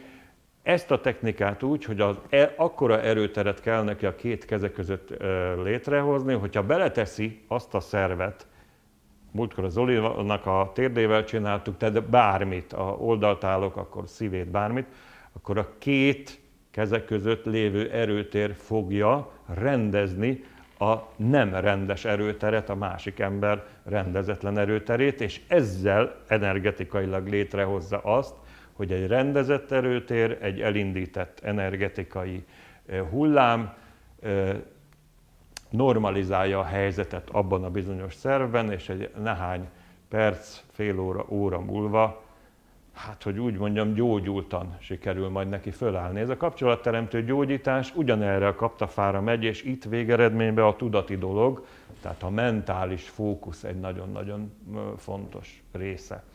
Biztos emlékeztek rá, van olyan, hogy hoponopono. Ez a köszönöm, bocsáss meg, szeretlek, gyógyulj meg. Tehát ezt, ezt el kell mondani egy több milliárdszor, és, és a tetejébe rá kell gondolni arra a delikvensre, arra, arra az alanyra, akinek valamiét szeretnénk kezelni, úgymond gyógyítani. Tehát számtalanszor el kell mondani. Van egy amerikai, aki ezt olyan sikeresen csinálja, hogy elég, hogyha csak leül a beteg ember mellé, és egy fél óráig mondja ezt mantra-szerűen, és a mellette lévők egészség, a mellette lévők végeredményben meggyógyulnak. Tehát vannak ilyen csodák, lehet ezt is csinálni, nagyon nagy irodalma van, aránylag könnyű. Itt a mantrázásnak a, a szellemi ö, oka a végső lényeg, ami, ami a normális energetikai állapotot megteremti. Akkor megyünk még tovább, jött ugye az EFT, a múltkor beszéltünk róla, ez az Emotional Freedom Technique, ez pedig az érzelmi felszabadítás technikája. Ez is egy nagyon okos dolog, és sok-sok tapasztalatot lehet belőle nyerni. Majd a végén elmutogatom, amikor ennek a végére értünk, hogy van egy pár olyan pont a felső testünkön, amit hogyha megnyomunk, és közben szintén egyfajta mantrát mondunk, hogy mi történjen a testünkkel, akkor ez meggyógyul. De a magyarázat ott van, hogyha el tud mindenki képzelni egy régi, csöves tévét nem biztos, de azt a régi tévét, ami nem laptévé, és hát ugye ott a, a meleg levegő elvezetése érdekében különböző bordázott hátfala volt ezeknek a tévéknek. Most képzeljük el, hogyha valaki fog egy hosszú csavarúzót, hátulról benyomja, biztos, hogy valami elől elment. Tehát száz százalék, hogy ott csicsat van, szikrázás van, és vagy a hang, vagy a kép, vagy minden megszűnik, mert rövid zárakat okozunk. Ugyanez van, amikor betegek leszünk. Tehát az érzelmi felszabadító technikának az a lényege, hogy bizonyos energetikai és idegi pontokat megmasszírozva, bizonyos ö, felszabadító mondatokat mondunk magunknak. Ha megnézitek a Youtube-on, millió van. Millió van, az biztos, hogy a, a skalpunkat, illetve hát fönt a, a koronacsakránkat ütögetni kell. Azt tudom, hogy, hogy itt, tehát ahogy a szemünk áll, a szemöldökünk fölött van egy-egy, akkor alul, az alsó szemünk alatt van egy-egy, belül is van egy-egy, na majd mindjárt, ugye az orrunk alatt van egyet, a állunk fölött van egy-egy, és akkor most jön, fülöket én nem tudok, de itt, ahol kezdődik az első kulcsont alatt, az első bordánál, ezt úgy van leírva, hogy a melbimbóval egy magasságba fönt. Itt kezdődik a nyirokrendszer. Ezt érdemes a hölgyeknek megtanulni, mert hogyha ha itt a keblekkel különböző gond van, akkor ezek a bizonyos nyírkok nem, örülnek, nem ürülnek ki onnan, a bizonyos melltartók miatt, és itt van egy, és lent a bordán. És ahol, tehát a bordán szintén membimó magassága, ugyanis ez az a pont, ahol a nyírkot el tudja indítani. A a kebel-mell problémák döntő többsége manapság azt mondják, attól van, hogy ez a bizonyos melltartó, ami olyan, nem engedi ki a nyírkot. És ez benne marad, pangani. És akkor ott bármi lehet. Tehát azért mondom ezt a két pontot, ez segít. Na most akkor, amit kiszoktak venni, ugye a bal hónalat, jobb hónalat, ezt aránylag meg lehet találni. Ezekkel a pontokkal operál a kapcsolatterem, nem a EFT. Meg lehet nézni a különböző mantrákat, mit kell mondani, és működik, mert fölszabadít, és tényleg az lesz, ami. Itt ugye megint az a kettősség jön össze, hogy a tudat itt csak kíséri a jelenséget, és talán fölügyel, de a tudat ebben a pillanatban nem dolgozik. És akkor még tudnék erre mondani számtalan érdekességet, és meg lehet nézni egyrészt a könyvesboltokban az új kiadásúakat, és a, a, a antikváriumokban a régieket, körülbelül ezekkel topzódik. Tehát van még a, a hipnózis, ami egy érdekes dolog, de arról nagyon sok könyv nincs, ott, ott be lehet jelentkezni, és igen érdekes pénzekért. A hipnózis technika az inkább a tudatnak az elaltatása, és akkor kezd el dolgozni, de ott is a tudattal valamit kell kezdenünk. Egy a lényeg, a tudattal, mint teremtő eszközzel, mint a szellemnek a kezünkbe adott kulcsával, úgy tudunk dolgozni, ahogy itt a gyakorlati tapasztalatokból láttuk, tehát tudunk programozni vele, ha fókuszálunk, tudunk bármit megnövelni, bármire kihatni, és akkor most már csak úgy zárójelben mondom, bármit meggyógyítani, hogyha megfelelő technológiával a megfelelő szervünkre tudunk fókuszálni. No, most nem fogok annyira sietni, kérdés mert aztán egy új dologra fogunk mindjárt a...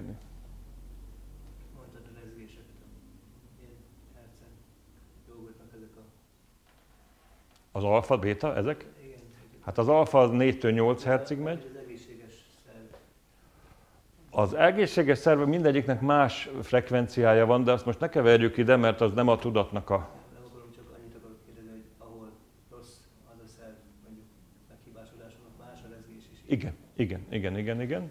Ezt, ezt aránylag egyszerűen azt hiszem le lehet olvasni, azt tudom valami 500 valahány herc a szívé, stb. stb. Ilyenek vannak, igen. Ez egy másik fajta technológia, ez egy eszközös technológia, de ez is működik. Van egy úr Magyarországon, lehet, hogy még a nevét is tudom, és olyan berendezést fejlesztett ki, nem tudom, hogy mennyire, de azt hiszem elfogadták, hogy föl tudja újítani, bizonyos frekvenciákat ad a fizikai testre, és ezek a bizonyos frekvenciák alapállapotba tudják hozni azt a szervet, tehát vissza tudják állítani a rendes frekvenciáját, az alapfrekvenciáját. Ennél azért számtalan kérdés vetődik föl, de jó működik. Jó működik. Én láttam ezt a berendezést, jó működik, nincs vele gond. Ig- nagyon, nagyon, nagyon, nagyon rettenetesen befolyásolják, főleg az elektron smog.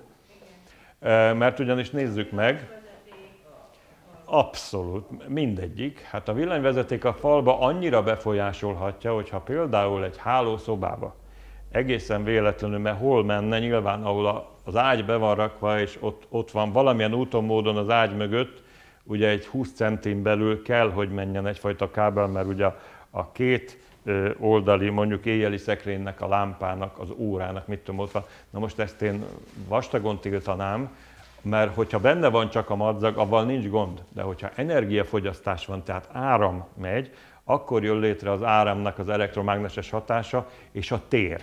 Na most, ha abba a térbe fekszik egész éjjel, még hogyha csak ez egy, egy folyadékkristályos kijelző ö, ébresztő óra, annak is van akkora része, hogy az agyra hat. És ezt mikor? Ezt már 8 évvel ezelőtt bebizonyították, hogy bizonyos magas vérnyomások ilyen gond, gondot okoznak az ilyen környezettel, tehát nagyon-nagyon durva hatása van az elektromágneses tereknek a élő szervezetre. Ezért kell az energetikával foglalkozzunk mindenféleképpen. Na most az úgynevezett elektroszmog, mint ilyen, az még nagyobb probléma, tehát az összes olyan elektromágneses berendezés, amelyik áramot fogyaszt, ahol áramot fogyasztanak, ott az áramnak a minimális erőtere létre kell, hogy jöjjön. mivel ezek váltakozó áramú mágneses terek, nagyon durva az 50-60 Hz-es, tehát a 230 voltos hálózat, ennek ellenére azt ugye már nem is mondom, hogy ö, mit jelent egy, egy okos telefon, vagy bármilyen, de mobiltelefon használata, ott 2 wattos adó teljesítmények vannak. Az borzasztó nagy ilyen közelről, az borzasztó nagy. És akkor még menjünk tovább. Hát ugye az összes számítógép, mást mondok, a Wi-Fi, akkor a számítógépnek különböző kábel nélküli továbbított adatai is, mármint az a modulációs rendszer, ami ezt létrehozza, nagyon-nagyon komoly gondokat okozhat. Egy, egy stabil és jó immunrendszerű szervezetnek nem annyira.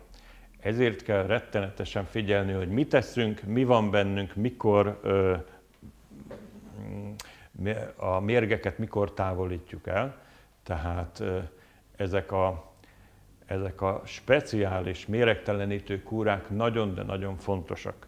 A legutolsó információ az, hogy három hetente kéne már méregteleníteni magunkat, tehát, hogyha csinálunk egy májméregtelenítést, az a legérdekesebb ilyen szempontból, tehát máj, vastagbél, vese, nyirok, illetve a tüdő, ezeket nem árt méregteleníteni évente legalább kétszer.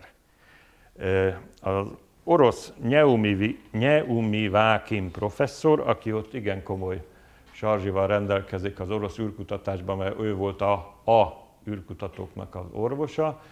Ő számolta ezt ki, hogy jelen állapotban, és ezt Oroszországra vonatkoztatva nálunk sokkal rosszabb a helyzet, ha megcsináltunk egy igen komoly méregtelenítést, és lezártuk egy májméregtelenítéssel, akkor három hét múlva a szorbitos májméregtelenítés már jöhet, mert amit tudunk vásárolni, vidékre ez annyira nem jellemző, de sajnos egyre inkább, kénytelen vagyok azt mondani, tehát amikor Penny, Lidli, ilyen li, olyan CBA, olyan plusz, meg mit tudom én, mik vannak, tehát olyan szintű a mérgezettség, amit az élelmiszeripar akarva akaratlan, vegyük úgy, hogy akaratlan, kénytelen beletenni egyfajta élelmiszerbe, és itt főleg a felvágottak, a, a vákumcsomagolt dolgok, az előre gyártott dolgok vannak, de hát ha mást mondok, a múltkor ezen azt hittem, hogy eldőlök, egy kiló kenyérben minimum 32 százalék búzalisztnek kell lenni. Ez a magyar szabvány. Ezt mindenki saját magának úgy fordítja, hogy akarja. De ezeket a tereket, már visszatérve az elektroszmogra, Igen. tudom, hogy mondjuk egyes kristályokkal lehet tisztítani. Nyilván a kristályokat Hát tisztítani nem lehet. Hát tisztítani nem lehet. Vegyük úgy, hogy vannak olyan dolgok, a múltkor valahol meglettem említve, lehet, hogy a, a Zsuzsi említette meg a, a, azokat a kis pogácsákat. Vannak olyan kis szerkezetek, ezek Tesláig mennek vissza, az úgynevezett térharmonizálók, amik azért nem egy egyszerű szerkezetek, ezt, ezt majd elmondom, hogy hogy működnek. A Tesla Horowitz ágyúnak, az 1930-as években szabadalmaztatott Tesla Horowitz ágyúnak a továbbfejlesztései, ebből is kell legalább négy. Ez viszont addig, tehát azt csinálja, hogy úgynevezett od, odot bocsát ki, tehát egy olyan frekvenciájú elektromágneses rezgést, ami teljesen megegyezik az emberi vagy a élő világnak az elektromágneses rezgéseivel, úgy frekvenciával, mint, mint modulációs rendszerrel, mert az ember is és az élővilág is úgynevezett torziós rezgésekben van. Ez olyan, mint egy fánk, mondjuk így, hogy fánk. Tehát elindul a szívünkből, konkrétan a szívünk adja ezt ki, és van egy ilyen visszatérő hurok, de ezt körbe kell elképzelni. Tehát ez egy Majdnem, majdnem, kicsit bonyolultabb, így van. Na most ezért lehet ebben a torziós rendszerekkel gyógyítani különben. Nem beszélve arról, hogy ilyen torziós elektromágneses képe van mondjuk a Földnek, de egy fának is, egy kis élőlénynek is, és mindig, hogy mondjuk a humánra, tehát az emberre, hogyha visszavetítjük, ez középen és nekünk a szívünkben termelődik. Ugyanis a szívünkben 5000-szer nagyobb energiájú rezgés keletkezik, mint a fejünkben, tehát a tobozmirigyben. A kettő aránya 5000-szeres. Tehát Isten igazából az a bizonyos fizikai energia, amit meg tudnak mérni normálisan műszerekkel, az itt keletkezik. Ezt torzítják, ezt a rezgést torzítják rettenetesen a, ezek az elektromágneses rendszerek, amik előállnak valahogy, ugye, sőt, hát ezt úgy mondjuk, hogy szuperponálódnak, és összeadódnak, és kivonódnak, tehát számtalan dolog van. Tehát elvileg egy feredélykalitkába kéne ülnünk, ami megint nem lenne jó. A feredélykalitka az az, amelyik szinte ez egy fém doboz, amelyik le van földelve. Ez árnyékolja a kívülről bejövő dolgokat, vagy nem. Ugye ez a kettő van, már hárpot meg nem. Úgyhogy ez egy érdekes dolog, de az ellen is lehet küldeni. Ez, amit a Zsuzsi a múltkor megemlített, ez a bizonyos kis harmonizáló rész, ez egy, ez egy de kár, hogy nem hoztam, de nincs. Ilyet én szoktam csinálni, ez egy ekkora kis, hát mit mondjak, a muffin sütőnek a, a alakjára nem hasonlít, mert abban van csinálva, és ebbe vízszínű, folyékony anyaggal van, műgyantával van kiöntve a vége, fém, tehát alumínium, nincs, nincs, nincs. Ja, hogy neked van. Tehát a, a fémforgács, a fémforgácsra rá van téve programozott hegyi kristály, vagy, vagy rózsakvarc, vagy még egy valami még jó, ami föl van programozva, majd elmondom, hogy hogy. Erre megint ezek a bizonyos dolgok rá vannak téve, és le van öntve ezzel a víztiszta műgyantával, ami aztán összehúzza őket, ami azért jó, mert ezeket a, egyrészt antenna, antennákat, ezen a frekvencián antennákat képeznek, másrészt meg pici adókat. És ahogy ez a fényforgás rá össze van nyomva ezzel a bizonyos kristályokkal, akkor egy érdekes hatás jön létre, mert a piezo hatás az úgy működik, hogyha egy kristályt, akár csak egy picit, egyik oldalán megfogok és a másik oldalán megütöm, akkor az ellentétes oldalán feszültség keletkezik, és ezek a elektromos gyújtók így működnek. Na ez a bizonyos adó azért tud így működni, mert hogyha ez rá van nyomva, akkor konkrétan mindig állít elő egy nagyon-nagyon pici potenciált, feszültséget. És akkor az összes többi még a tetejébe ezt a bizonyos ódot állítja elő, ezt a, az emberi, illetve az élővilág szervezetére nem káros, hanem azt mondjuk harmonizáló ódot állít elő.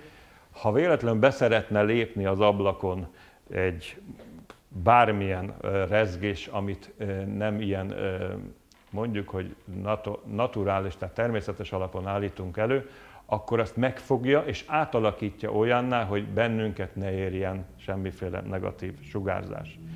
Na most ilyet az Olival kipróbáltunk, illetve még szegény Jani is ott volt. Fegyverneken ilyet ástam el mind a három mobiltorony elé, erről még képen is van, és elég komolyan ezeket a hárpokat is megfogjuk ott, bár sokan nem tudnak róla. Tehát meg lehet ezeket fogni, meg lehet ezeket fogni. Lent a kis házamba fegyverneken a négy sarkában négy el van ásva, nem kell, mert marha, tehát ott a Pestihez képest kettő nagyságrendel kisebb az elektroszmog, ennek ellenére nagyon jó hatású. Városban egy picit más. Városban egy picit más. Hogy?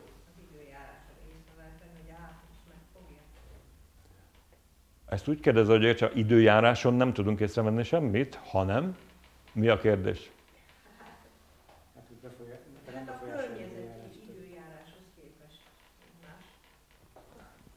Én úgy gondolom, hogy most azt tetszik kérdezni, hogy befolyásolják-e az időjárást hasonló rendszerekkel, tehát ez a bizonyos chemtrails hárpos dolog mennyire él? Száz százalékig.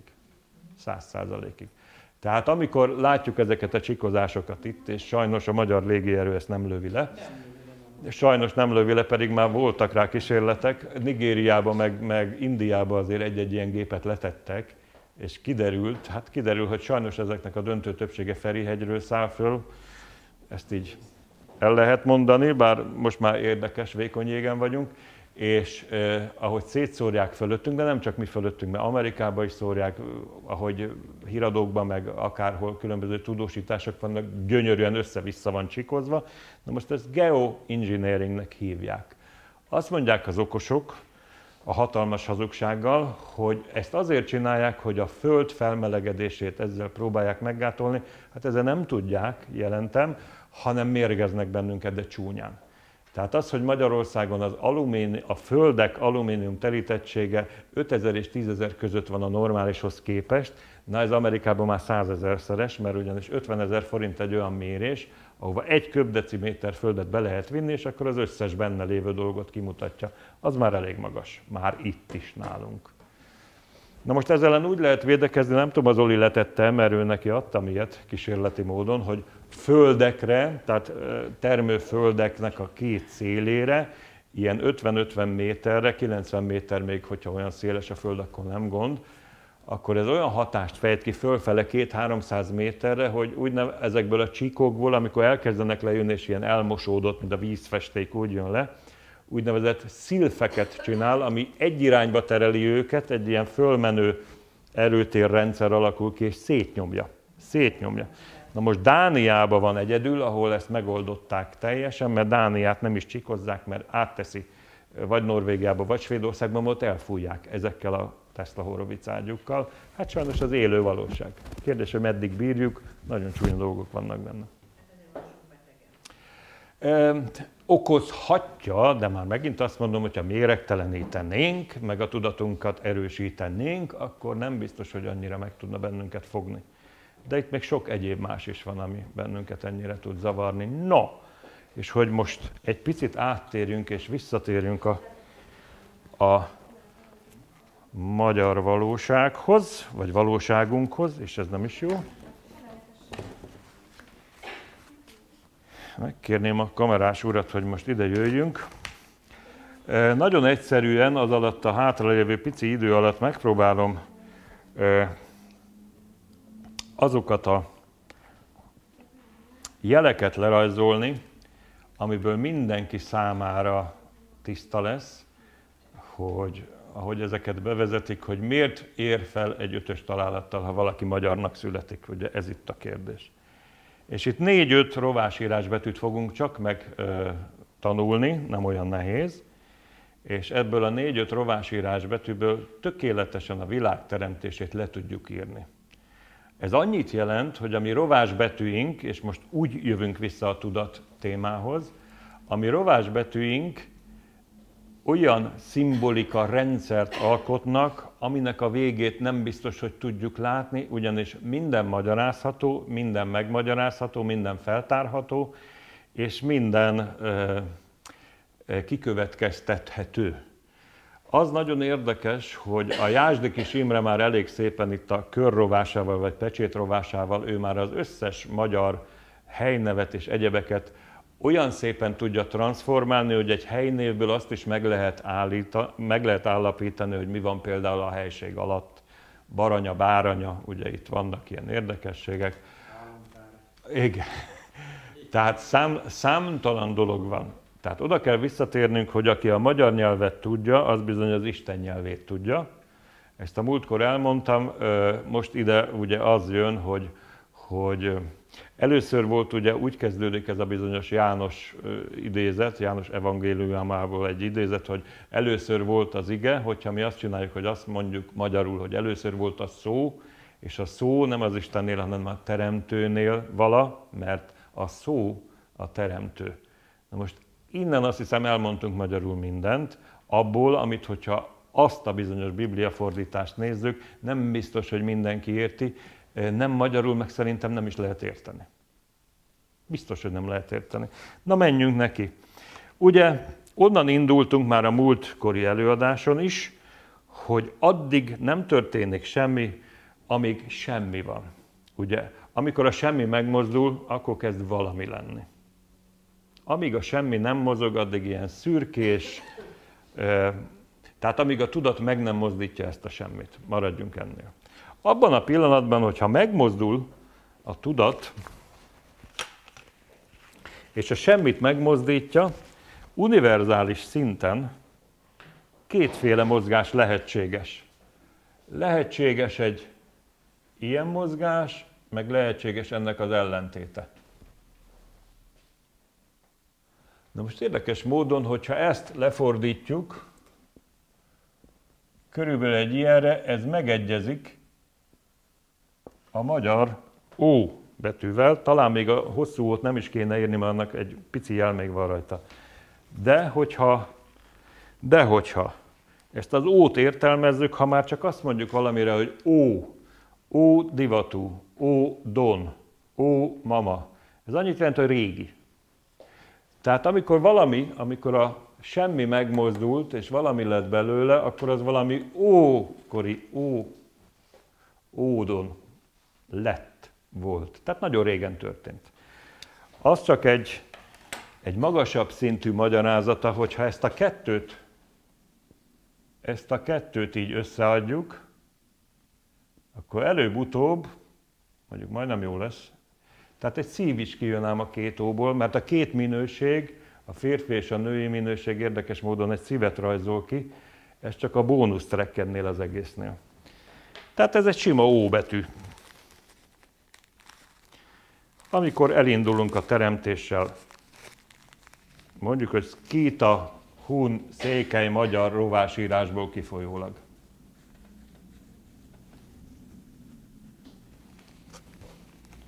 Igen ám, de amikor ez mozog, akkor ezt így is lehet csinálni, igaz? Akkor ez egy ilyen dolog, ez egy mondjuk majdnem középre jött, sikerült. Megpróbálom egy picit középre azért is. Ezt elhelyezzük a térbe, akkor ez egy szépen egy ilyen pályát ad. Most ez már megint két betűt fog nekünk csinálni. Fog egy O betűt, majdnem sikerült, és fog egy ilyen betűt adni. Ez ugye magyar betűink szerint az elipszilonnal lefordított J betű. Ha ezt összeadjuk, akkor ez bizony ugyan ebben a J-vel, de az lesz, hogy jó. Mert ugye ha megmozdult az a semmi, akkor már valami lett, és nagyon jó, hogy elkezd, és fölépül a világ. No, következő eset, amikor ennek ugye már egy tengelye van. Ez a betű, aminek tengelye van, ez az S betű. Hogyha ezt úgy rajzolom, hogy ezt befordítom, és csak az egy oldala látszik, ugye ez egy ilyen dolog lesz, ez lehet a plusz. Ez ugye az S betű, ez R betűt jelent.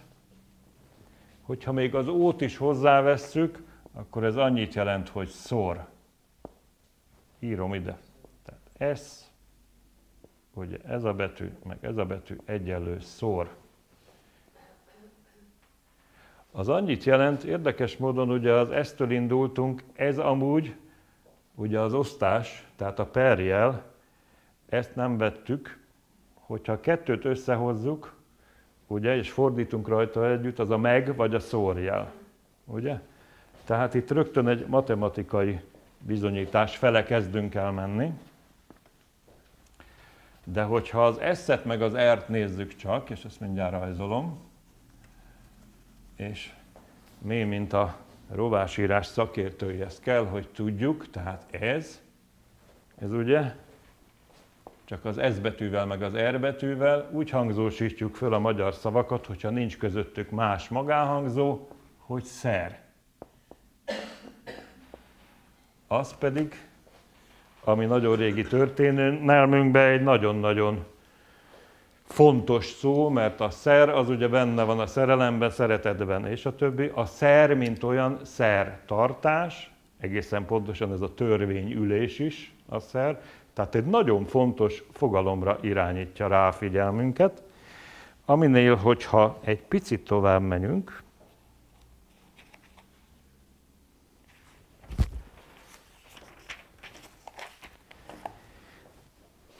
és szintén tehát van ugye ez a részünk, van ez a részünk.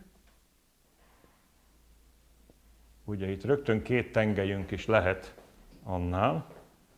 Ezt, hogyha befordítjuk, ez ugye úgy néz ki, hogyha összekötjük akkor ugye ez egy négyzet, de amúgy ez a betű, ez ugye egy K betű. Na most ez annyit jelent, hogy ez szer k. Ez egy k. k. Viszont ha így is összekötjük őket,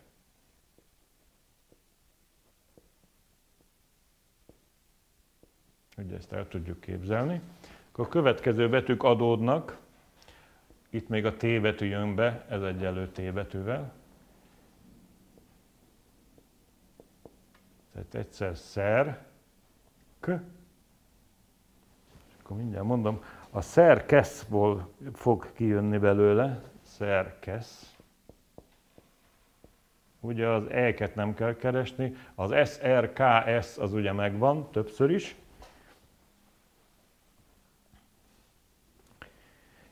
És ha ezt a tét még ide tesszük, akkor ez annyit fog jelenteni, hogy szer, ke, szet, magyarul szerkezet. Már pedig ez, ezt felrajzolom még egyszer, már pedig ez,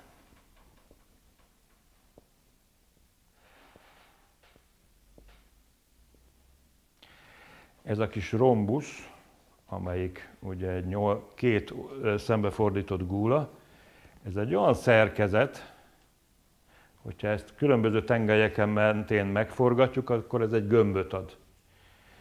És itt van egy, kettő, három, négy, öt, hat része, és érdekes módon az isteni része ez itt bent, ahol találkozik a két rész, tehát hét része. Innen jön ki az, hogy ugye hetet hét határ,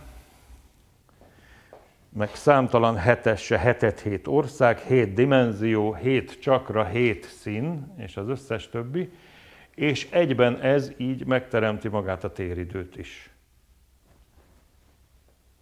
És ezt mindössze egy olyan 1, 2, 3, 4, 5 5-6 betűből létre tudjuk hozni. Ezt a színia tovább gondolja, a Bodnár. E, tessék? Igen, igen, ez igaz, az Olinak igaza van, ezt nem rajzoljuk be, akkor itt már csak hat, és ez a hatalom, igen, ha berajzoljuk ezt, akkor már hetesünk jön ki, ami, ami szerencse számunk, és akkor jön a hetet hét határ, és a hét dimenziós az összes többi. Ezzel akartam zárni az egészet, hogyha valaki elkezd egy picit bele menni a rovásírásba, és még a tetejében magyar anyanyelvű. Egyrészt a rovásírást 40 perc alatt meg lehet tanulni, mindössze 40 perc alatt. Ezt tovább lehet gömbölyíteni, de meg lehet nézni különben a, a, az interneten is. A színiát, hogyha beírják, akkor számtalan több órás film van erről a dologról, és ezt is azért hoztam most ide példaként, hogy ez is tudattágítás. Tehát, hogyha erre indulunk el, és erre tágítjuk a tudatunkat, akkor egyszer csak vissza tudunk menni, nem az ősrobbanásig, hanem a teremtésig, és előre tudunk jönni, és rovás írásos alapon meg tudjuk magyarázni azokat a dolgokat, amit úgy gondolunk, hogy nem úgy van. Márpedig, hogyha rovásírással írunk föl nagyon sok mindent, pillanatok alatt fölakadnak azok, akik bennünket meg akarnak, vagy át akarnak vágni, vagy meg akarnak csalni. És a többi, én ebből csak annyit szerettem volna bemutatni, hogy mindenfelé el lehet indulni ebből a mi tudatunkkal, és mindenfele meg fogjuk találni, főleg magyar észjárással azt, amit keresünk, pici segítséggel, de meg fogjuk találni a lényegét és az eszenciáját.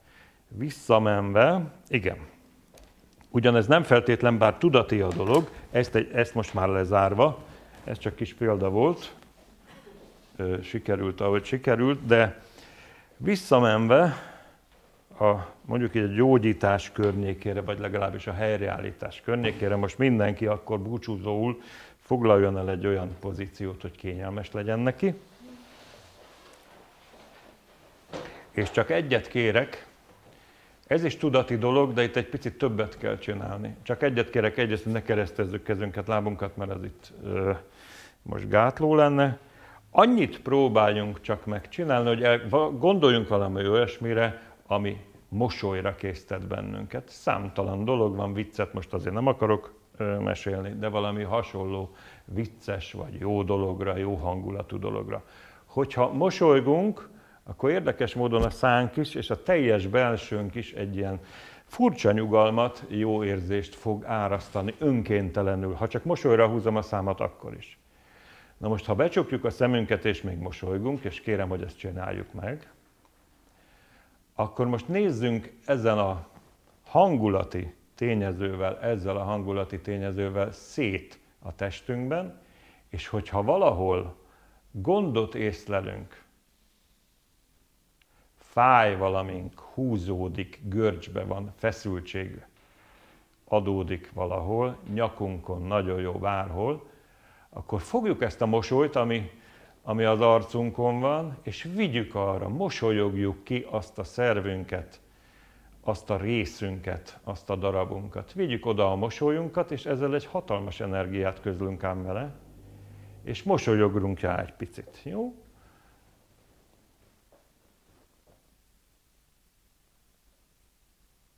Arra a részünkre mosolyogjunk. Egy belső mosolyt vigyünk oda, oldjuk fel a mosolyban az összes gondot, görcsöt, feszültséget, és még a fájdalmat is. És még mindig lehet mosolyogni erre a dologra. És hogyha megtaláltuk azt a részt, akkor szépen lassan menjünk le az alapcsakránkig, tehát mondjuk, mondjuk, hogy a derekunkig, mosolyogjunk szét a derekunk környékén, a csípőcsontunknál, a hasüregünket mosolyogjuk meg. Nem azért meg kinevetjük, hanem egy jó érzés. És akkor jöjjünk egyel följebb, jöjjünk a melcsontunkhoz, a szedcsontunkhoz. Mosolyogjunk a szívünkre, a szívburkunkra, a kétoldali tüdőnkre. Aztán jöjjünk följebb a torkunkhoz, mosolyogjunk a torkunkra. Ritka, hogy valami nincs a torkunkba, ha beszélünk, ha bármit csinálunk, akkor is mosolyogjunk, mosolyogjunk a torkunkra.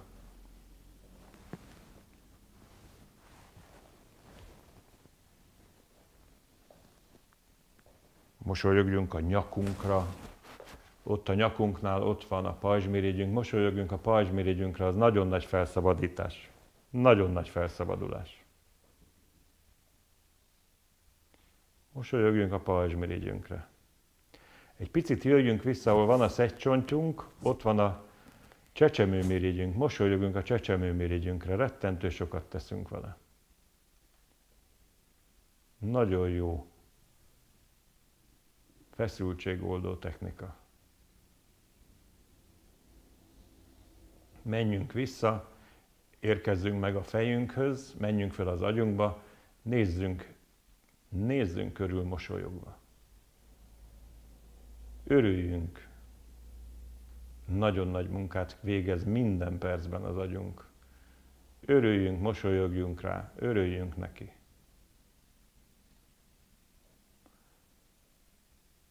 Mosolyogjuk meg a homloküregünket, az arcüregünket, a szájüregünket.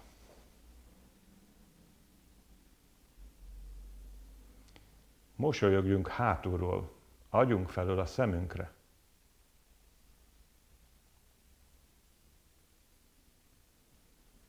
És olvadjunk föl egy ilyen mosolyban, jöjjünk vissza és nyissuk ki a szemünket.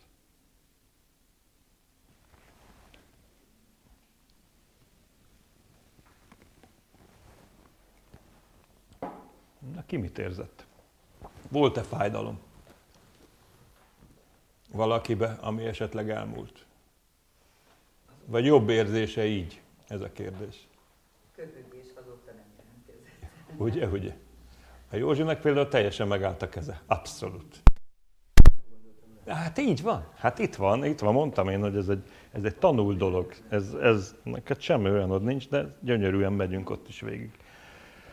Hát kérem szépen, körülbelül az időnkkel is meg vagyunk aránylag. Ha van valakinek kérdése, nagyon-nagyon szívesen.